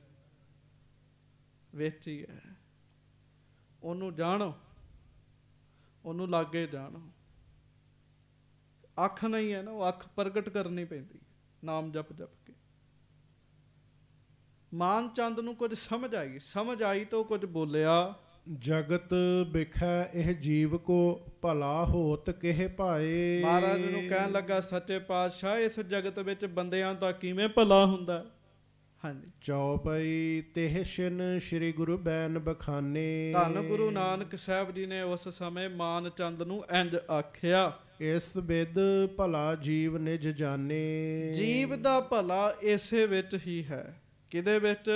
ਹਾਂ ਸਵਾਸ ਸਵਾਸ ਯਾਦੰ ਕਰਤਾਰਾ ਸਵਾਸ ਸਵਾਸ ਯਾਦੰ ਕਰਤਾਰਾ ਹਰ ਇੱਕ ਸਾਹ ਵਿੱਚ ਵਾਹਿਗੁਰੂ ਵਾਹਿਗੁਰੂ। ਮਹਾਰਾਜ ਕਹਿੰਦੇ ਸਵਾਸ ਸਵਾਸ ਕਰਤਾਰ ਨੂੰ ਯਾਦ ਕਰੇ। ਬਿਨਾ ਨਾਮ ਨਹਿ ਹਵੈ ਨਿਸਤਾਰਾ। ਫਿਰ ਕਲਿਆਣ ਹੋਏਗਾ। ਨਾਮ ਤੋਂ ਬਗੈਰ ਕਲਿਆਣ ਨਹੀਂ ਹੋਣਾ। ਜਿੱਥੇ ਭਟਕਣਾ ਭਟਕ ਲੈ। ਉਹ ਅੰਦਰ ਹੀ ਹੈ। ਉਹਨੂੰ ਯਾਦ ਕਰਨਾ ਉਹਦਾ ਨਾਮ ਜਪਣਾ। ਹਾਂਜੀ। ਬੂਝਤ ਮਾਨ ਚੰਦ ਯੁਤ ਪ੍ਰੀਤੀ। ਮਾਨ ਚੰਦ ਅੱਗੋਂ ਬੜੇ ਪਿਆਰ ਨਾਲ ਪੁੱਛਣ ਲੱਗਾ। ਪ੍ਰਭੂ ਬਤਾਵੋ ਅਬ ਇਸ ਰੀਤੀ। ਹੇ ਮੇਰੇ ਪ੍ਰਭੂ ਜੀ ਹੁਣ ਪ੍ਰਭੂ ਤੇ ਆ ਗਿਆ। ਅੱਗੇ ਕਹਿੰਦਾ ਮੈਨੂੰ ਪਤਾ ਹੀ ਨਹੀਂ ਤੁਸੀਂ ਕੌਣ ਹੋ।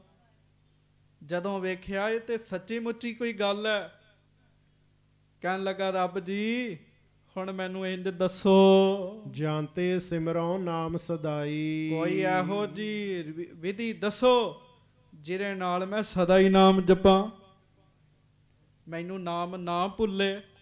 ਹਿਰਦੇ ਨਾ ਬਿਸਰਹਿ ਪ੍ਰਭੂ ਕਦਾਈ। ਮੈਨੂੰ ਕਦੀ ਵਾਹਿਗੁਰੂ ਦੀ ਯਾਦ ਨਾ ਭੁੱਲੇ। ਮਹਾਰਾਜ ਕੋਈ ਇਹੋ ਜੀ ਵਿਧੀ ਦੱਸੋ। ਹਾਂਜੀ। ਦੋਹਰਾ ਗੁਰ ਕਹੈ ਸੰਸਾ ਨਹਿ ਕਰੋ। ਸ਼ੁਧਾ ਨਗਨ ਕੋ ਕੋਏ। ਮਹਾਰਾਜ ਕਹਿਣ ਲੱਗੇ ਮਾਨ ਚੰਦਾ ਅੱਜ ਤੋਂ ਬਾਅਦ ਚਿੰਤਾ ਨਹੀਂ ਕਰਨੀ ਨਾ ਭੁੱਖ ਦੀ ਨਾ ਕੱਪੜਿਆਂ ਦੀ।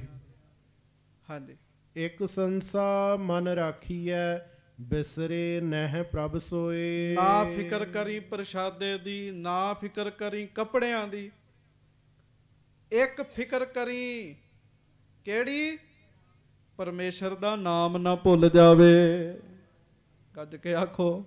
ਵਾਹਿਗੁਰੂ। ਜਿਹੜਾ ਸਾਨੂੰ ਭੁੱਲਿਆ ਰਹਿੰਦਾ ਸਵੇਰ ਦੀ ਖਾਣੇ ਆ ਦੁਪਹਿਰ ਦੀ ਚਿੰਤਾ ਲੱਗਦੀ। ਦੁਪਹਿਰ ਦੀ ਖਾ ਲੈਨੇ ਆ ਪੁੱਛਦੇ ਆ ਰਾਤੀ ਕੀ ਬਣਾਉਣਾ ਹੈ? ਇਸ ਤਰ੍ਹਾਂ ਹੀ ਖੇਡ ਚੱਲਦੀ ਹੈ। ਤੇ ਇਹ ਚਿੰਤਾ ਰਹਿੰਦੀ ਮਹਾਰਾਜ ਕਹਿੰਦੇ ਇਹ ਚਿੰਤਾ ਛੱਡ ਦਿਓ। ਚਿੰਤਾ ਹੋਵੇ ਨਿਤਨੇਮ ਨਾ ਵਿਸਰੇ ਭਜਨ ਨਾ ਵਿਸਰੇ ਬਾਣੀ ਨਾ ਵਿਸਰੇ।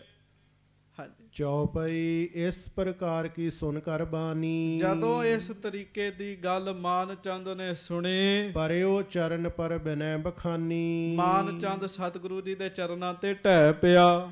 ਤੁਸੀਂ ਵੀ ਮੱਥਾ ਟੇਕ ਦਿਓ। ਧੰਨ ਗੁਰੂ ਨਾਨਕ ਸਾਹਿਬ ਜੀ ਮਹਾਰਾਜ। ਸ੍ਰੀ ਗੁਰੂ ਨਾਨਕ ਦੇਵ ਸਾਹਿਬ ਜੀ ਮਹਾਰਾਜ। ਚਰਨਾਂ ਤੇ ਢਹਿ ਪਿਆ। ਤੇ ਬੇਨਤੀ ਕੀਤੀ। ਤਿਹ ਛਿਨ ਇੱਕ ਡੰਡਾ ਕਰ ਮਾਹੀ। ਤੇ ਉਸ ਸਮੇਂ ਮੇਰੇ ਗੁਰੂ ਨਾਨਕ ਸਾਹਿਬ ਆਪ ਕਰਤਾ ਪੁਰਖ ਵਾਹਿਗੁਰੂ ਜੀ ਦੇ ਹੱਥ ਵਿੱਚ ਡੰਡਾ ਸੀਗਾ ਜੀ। ਆਸਾ ਹੱਥ। ਮਹਾਰਾਜ ਦੇ ਹੱਥ ਵਿੱਚ ਡਾਂਗ ਸੀ। ਹਾਂਜੀ। ਬਖਸ਼ਿਓ ਜਾਨ ਦਾਸ ਗੁਰ ਤਾਹੀ। ਗੁਰੂ ਸਾਹਿਬ ਨੇ ਜਾਣਿਆ ਮਾਨ ਚੰਦ ਸਾਡਾ ਸੇਵਕ ਹੈ। ਸਤਿਗੁਰੂ ਜੀ ਨੇ ਮਾਨ ਚੰਦ ਨੂੰ ਡਾਂਗ ਦੇ ਦਿੱਤੀ। ਮਹਾਰਾਜ ਕਹਿੰਦੇ ਰੱਖ ਲੈ। ਹਾਂਜੀ। ਮਾਨ ਚੰਦ ਲੈ ਸਿਰ ਪਰ ਧਰਿਓ। ਮਾਨ ਚੰਦ ਨੇ ਫੜ ਕੇ ਇੰਜ ਇੰਜ ਨਹੀਂ ਕੀਤੀ। ਮਾਨ ਚੰਦ ਨੇ ਫੜ ਕੇ ਸਿਰ ਤੇ ਰੱਖ ਲਈ ਜੀ। ਮੇਰੇ ਗੁਰੂ ਜੀ ਦੀ ਹੈ ਹਾਂਜੀ। ਜਨਮ ਮਰਨ ਕੋ ਦੁਖ ਸਭ ਹਰਿਓ। ਡਾਂਗ ਸਿਰ ਤੇ ਰੱਖਣ ਦੀ ਦੇਰ ਸੀ ਉਹ ਸੋਟਾ ਮਾਨ ਚੰਦ ਦੇ ਕਪਾਟ ਖੁੱਲ ਗਏ। ਮਿਹਰ ਹੋ ਗਈ। ਹਾਂਜੀ। ਪ੍ਰੇਮ ਵਿਸ਼ਾਲ ਬਨਿਓ ਮਸਤਾਨਾ। ਉਸੇ ਵੇਲੇ ਪਿਆਰ ਪੈਦਾ ਹੋ ਗਿਆ। ਪਰਮੇਸ਼ਰ ਦੀ ਯਾਦ ਵਿੱਚ ਮਸਤਾਨਾ ਹੋ ਗਿਆ। ਮਹਾਪੁਰਖ ਭਾ ਪੂਰਨ ਗਿਆਨਾ। ਤੇ ਕੀ ਗਿਆਨ ਹੋਇਆ? ਇਹ ਕੋਈ ਆਮ ਮਨੁੱਖ ਨਹੀਂ ਹਨ। ਇਹ ਗੁਰੂਆਂ ਦੇ ਗੁਰੂ ਹਨ ਇਹ ਮਹਾਪੁਰਖ ਹਨ। ਗੁਰੂ ਨਾਨਕ ਸਾਹਿਬ ਜੀ ਬਾਰੇ। ਜਿਨ੍ਹਾਂ ਨੂੰ ਕਹਿੰਦਾ ਸੀ ਮੈਂ ਤੁਹਾਨੂੰ ਜਾਣਦਾ ਨਹੀਂ ਤੁਸੀਂ ਕੌਣ? ਹੁਣ ਪਤਾ ਲੱਗ ਗਿਆ। ਸੰਪੁਟ ਮਾਨ ਚੰਦ ਕਹਿ ਪਾਨਾ ਜਗਤੇਸ਼ਵਰ ਯਹ ਦੰਡ ਮਹਾਨਾ। ਮਾਨ ਚੰਦ ਹੱਥ ਜੋੜ ਕੇ ਕਹਿੰਦਾ ਸਤਿਗੁਰੂ ਇਹ ਡੰਡੇ ਵਿੱਚ ਤੇ ਬੜੀ ਵੱਡੀ ਤਾਕਤ ਹੈ। ਬੜੀ ਵੱਡੀ ਬਖਸ਼ਿਸ਼ ਹੈ। ਸਿਰ ਤੇ ਰੱਖਦਿਆਂ ਹੀ ਮਹਾਰਾਜ ਗਿਆਨ ਧਿਆਨ ਆ ਗਿਆ ਸੋਝੀ ਆ ਗਈ। ਜਿਵੇਂ ਕੋਈ ਪਾਵਰ ਸ਼ਕਤੀ ਮੇਰੇ ਸਰੀਰ ਵਿੱਚ ਪ੍ਰਵੇਸ਼ ਕਰ ਗਈ ਹੋਵੇ। ਸੇ ਮੁਖ ਜਿਨ ਕਰਦੀ ਮਮ ਪੂਤਾ। ਸਵਪਨ ਅੰਤ ਕਾ ਜਗਤ ਸੂਤਾ। ਮਹਾਰਾਜ ਨੇ ਤੇ ਮੈਨੂੰ ਮੇਰੀ ਇਹ ਅਵਸਥਾ ਬਣਾਤੀ ਜਿਵੇਂ ਬੰਦਾ ਸੁੱਤਾ ਹੋਵੇ ਤੇ ਸੁਪਨਾ ਵੇਖਦਾ ਹੋਵੇ ਤੇ ਇੱਕਦਮ ਜਾਗ ਜਾਵੇ। ਅਸਲੀ ਅਵਸਥਾ ਤੇ ਜਾਗਰਤੀ ਹੈ ਨਾ। ਮਹਾਰਾਜ ਨੇ ਤੇ ਮੇਰੀ ਉਹ ਹਾਲ ਕਰ ਦਿੱਤਾ। ਹਾਂਜੀ। ਦੋਹਰਾ ਜੌਨ ਕਸ਼ਟ ਗੁਰ ਕਹਿਤ ਜਿਹ ਮਾਨ ਚੰਦ ਸੁਨ ਮੀਤ। ਹੁਣ ਸਾਵਧਾਨ ਹੋਵੋ ਲੱਕ ਸਿੱਧੇ ਕਰੋ ਤੇ ਧਿਆਨ ਨਾਲ ਸੁਣਿਓ ਗੱਜ ਕੇ ਆਖੋ ਵਾਹਿਗੁਰੂ। ਵਾਹਿਗੁਰੂ। ਫੇਰ ਆਖੋ ਵਾਹਿਗੁਰੂ। ਮਹਾਰਾਜ ਕਹਿਣ ਲੱਗੇ ਮਾਨ ਚੰਦਾ ਗੱਲ ਸੁਣਦਾ ਸਾਡੀ। ਕੀ? ਸਤਿਗੁਰੂ ਕਹਿਣ ਲੱਗੇ ਇਸ ਡੰਡੇ ਦਾ ਧਿਆਨ ਰੱਖੀ। ਇਸ ਡੰਡੇ ਦਾ ਖਿਆਲ ਰੱਖੀ। ਕਿਉਂ? ਅੱਜ ਤੋਂ ਬਾਅਦ ਜਿਹੜਾ ਵੀ ਇਸ ਡੰਡੇ ਨੂੰ ਹੱਥ ਲਾਏਗਾ ਉਹਦੇ ਸਾਰੇ ਦੁੱਖ ਦੂਰ ਹੋ ਜਾਣਗੇ। ਕਿੱਡੀ ਵੱਡੀ ਬਖਸ਼ਿਸ਼ ਕਰ ਦਿੱਤੀ। ਹਾਂਜੀ। ਸ਼ੁਵਤ ਪਲਾਵਤ ਖਿਨਕ ਮਹਿ ਮੁਕਤ RAM ਕਰ ਚੀਤ। ਹੇ ਮਿੱਤਰ ਮਾਨ ਚੰਦ ਜੇ ਕੋਈ ਵਾਹਿਗੁਰੂ ਨੂੰ ਯਾਦ ਕਰਕੇ ਡੰਡੇ ਨੂੰ ਹੱਥ ਲਾਵੇ ਮੁਕਤ ਵੀ ਹੋ ਜਾਏਗਾ। ਪਿਆਰਿਓ ਡੰਡਾ ਕਿਹਦੇ ਹੱਥ ਦਾ ਹੈ? ਧੰਨ ਗੁਰੂ ਨਾਨਕ ਸਾਹਿਬ ਜੀ ਦੇ ਹੱਥ ਦਾ। ਗੁਰੂ ਨਾਨਕ ਸਾਹਿਬ ਦਾ ਡੰਡਾ ਨਹੀਂ ਮਾਣ, ਗੁਰੂ ਨਾਨਕ ਸਾਹਿਬ ਆਪ ਕਿੱਡੇ ਮਹਾਨ ਹੋਣਗੇ। ਕੱਲ ਆਇਆ ਸੀ ਨਾ ਮਹਾਰਾਜ ਨੇ ਯਾਦ ਵਾਹਿਗੁਰੂ ਸ਼ੇਖ ਸ਼ਰਫ ਨੂੰ ਹੱਥ ਲਾਤਾ ਤੇ ਆਪਾਂ ਕਿਹਾ ਸੀ ਕਿਤੇ ਮਹਾਰਾਜ ਸਾਨੂੰ ਹੱਥ ਲਾ ਦੇਣ। ਹੁਣ ਤੇ ਆ ਡੰਡਾ ਵੀ ਮਿਲ ਜੇ, ਉਹਨੂੰ ਹੱਥ ਲਾ ਕੇ ਸਾਡੇ ਵੱਡੇ ਭਾਗ ਬਣ ਜਾਣ ਜੀ। ਹਾਂਜੀ। ਚੌਪਈ ਜਨਮ ਮਰਨ ਕੇ ਸਾਧਨ ਜੋ ਸਿੱਧ ਭਏ ਛਿਨ ਮਹਿ ਸੋਊ। ਇਸ ਪ੍ਰਕਾਰ ਤਹਿ ਕਰਿਓ ਨਿਹਾਲਾ ਆਨ ਥਾਨ ਗਮਨੇ ਪੁਨ ਦਿਆਲਾ। ਜਨਮ ਮਰਨ ਦੇ ਜਿਹੜੇ ਸਾਧਨ ਨੇ ਸਿੱਧ ਅਵਸਥਾ ਜਿਹੜੀ ਹੈ ਇੱਕ ਖਿੰਨ ਚ ਪ੍ਰਾਪਤ ਹੋਏਗੀ ਜਿਹੜਾ ਰੱਬ ਦਾ ਰੂਪ ਜਾਣੇਗਾ ਗੁਰੂ ਨੂੰ। ਤੇ ਕਹਿਣ ਲੱਗੇ ਇਸ ਤਰੀਕੇ ਨਾਲ ਸਤਿਗੁਰੂ ਜੀ ਨੇ ਕਿੰਨੂੰ ਨਿਹਾਲ ਕੀਤਾ? ਕਿੰਨੂੰ? ਮਾਨ ਚੰਦ ਨੂੰ। ਤੇ ਸੱਚੇ ਪਾਤਸ਼ਾਹ ਮਾਨ ਚੰਦ ਦਾ ਭਲਾ ਕਰਕੇ ਅੱਗੇ ਜਾਂਦੇ ਹਨ, ਉਹ ਆਪਾਂ ਕੱਲ ਨੂੰ ਸਰਵਣ ਕਰਾਂਗੇ। ਹੋਈਆਂ ਭੁੱਲਾਂ ਚੁੱਕਾਂ ਦੀ ਖਿਮਾ ਬਖਸ਼ਣੀ। ਸਤਿਗੁਰੂ ਜੀ ਦੀ ਵੱਡੀ ਵਡਿਆਈ ਹੈ, ਵੱਡੀ ਵਡਿਆਈ ਹੈ। ਮਾਨ ਚੰਦ ਨੂੰ ਆਪ ਖੋਜਿਆ, ਆਪ ਲੱਭਿਆ ਤੇ ਆਪ ਉਹਦਾ ਭਲਾ ਕੀਤਾ ਤੇ ਮਾਨ ਚੰਦ ਨੂੰ ਸਮਝਾਇਆ ਮਾਨ ਚੰਦ ਭੁੱਖ ਦੀ ਚਿੰਤਾ ਨਾ ਰਹੇ। ਵਸਤਰਾਂ ਦੀ ਚਿੰਤਾ, ਕੱਪੜਿਆਂ ਦੀ ਚਿੰਤਾ ਨਾ ਰਹੇ। ਇੱਕੋ ਚਿੰਤਾ ਰਵੇ, ਮੈਨੂੰ ਵਾਹਿਗੁਰੂ ਦੀ ਯਾਦ ਨਾ ਭੁੱਲੇ। ਸਾਨੂੰ ਵੀ ਇੱਕ ਚਿੰਤਾ ਰਹਿਣੀ ਚਾਹੀਦੀ ਹੈ। ਕਿਹੜੀ? ਹੇ ਮਹਾਰਾਜ, ਸੱਚੇ ਪਾਤਸ਼ਾਹ, ਜਿਹੜਾ ਪੰਜ ਬਾਣੀਆਂ ਦਾ ਨਿਤਨੇਮ ਦਿੱਤਾ, ਸ਼ਾਮ ਦੀ ਸੋਧਰ ਦਿੱਤੀ, ਰਾਤ ਨੂੰ ਸਹਿਲਾ ਜੀ ਦਾ ਪਾਠ ਦਿੱਤਾ, ਉਹ ਨਿਤਨੇਮ ਅਸੀਂ ਕਰਦੇ ਰਹੀਏ, ਸਾਨੂੰ ਚੇਤਾ ਨਾ ਭੁੱਲੇ। ਤੇ ਇਹ ਕੁਝ ਕਰਦਿਆਂ ਕਰਦਿਆਂ ਜਪਿਆ ਕਰੀਏ। ਵਾਹਿਗੁਰੂ। ਵਾਹਿਗੁਰੂ ਵਾਹਿਗੁਰੂ। ਵਾਹਿਗੁਰੂ ਵਾਹਿਗੁਰੂ। ਵਾਹਿਗੁਰੂ ਵਾਹਿਗੁਰੂ। ਸੱਚੇ ਪਾਤਸ਼ਾਹ ਮਿਹਰ ਕਰਨ ਕਿਰਪਾ ਕਰਨ ਬਖਸ਼ਿਸ਼ ਕਰਨ ਦਇਆ ਕਰਨ ਨਾਮ ਜਪਣ ਦੀ ਸਮਤ ਬਖਸ਼ਣ। ਸਵਾਸ ਸਵਾਸ ਉਹਦੀ ਯਾਦ ਵਿੱਚ ਜਾਵੇ।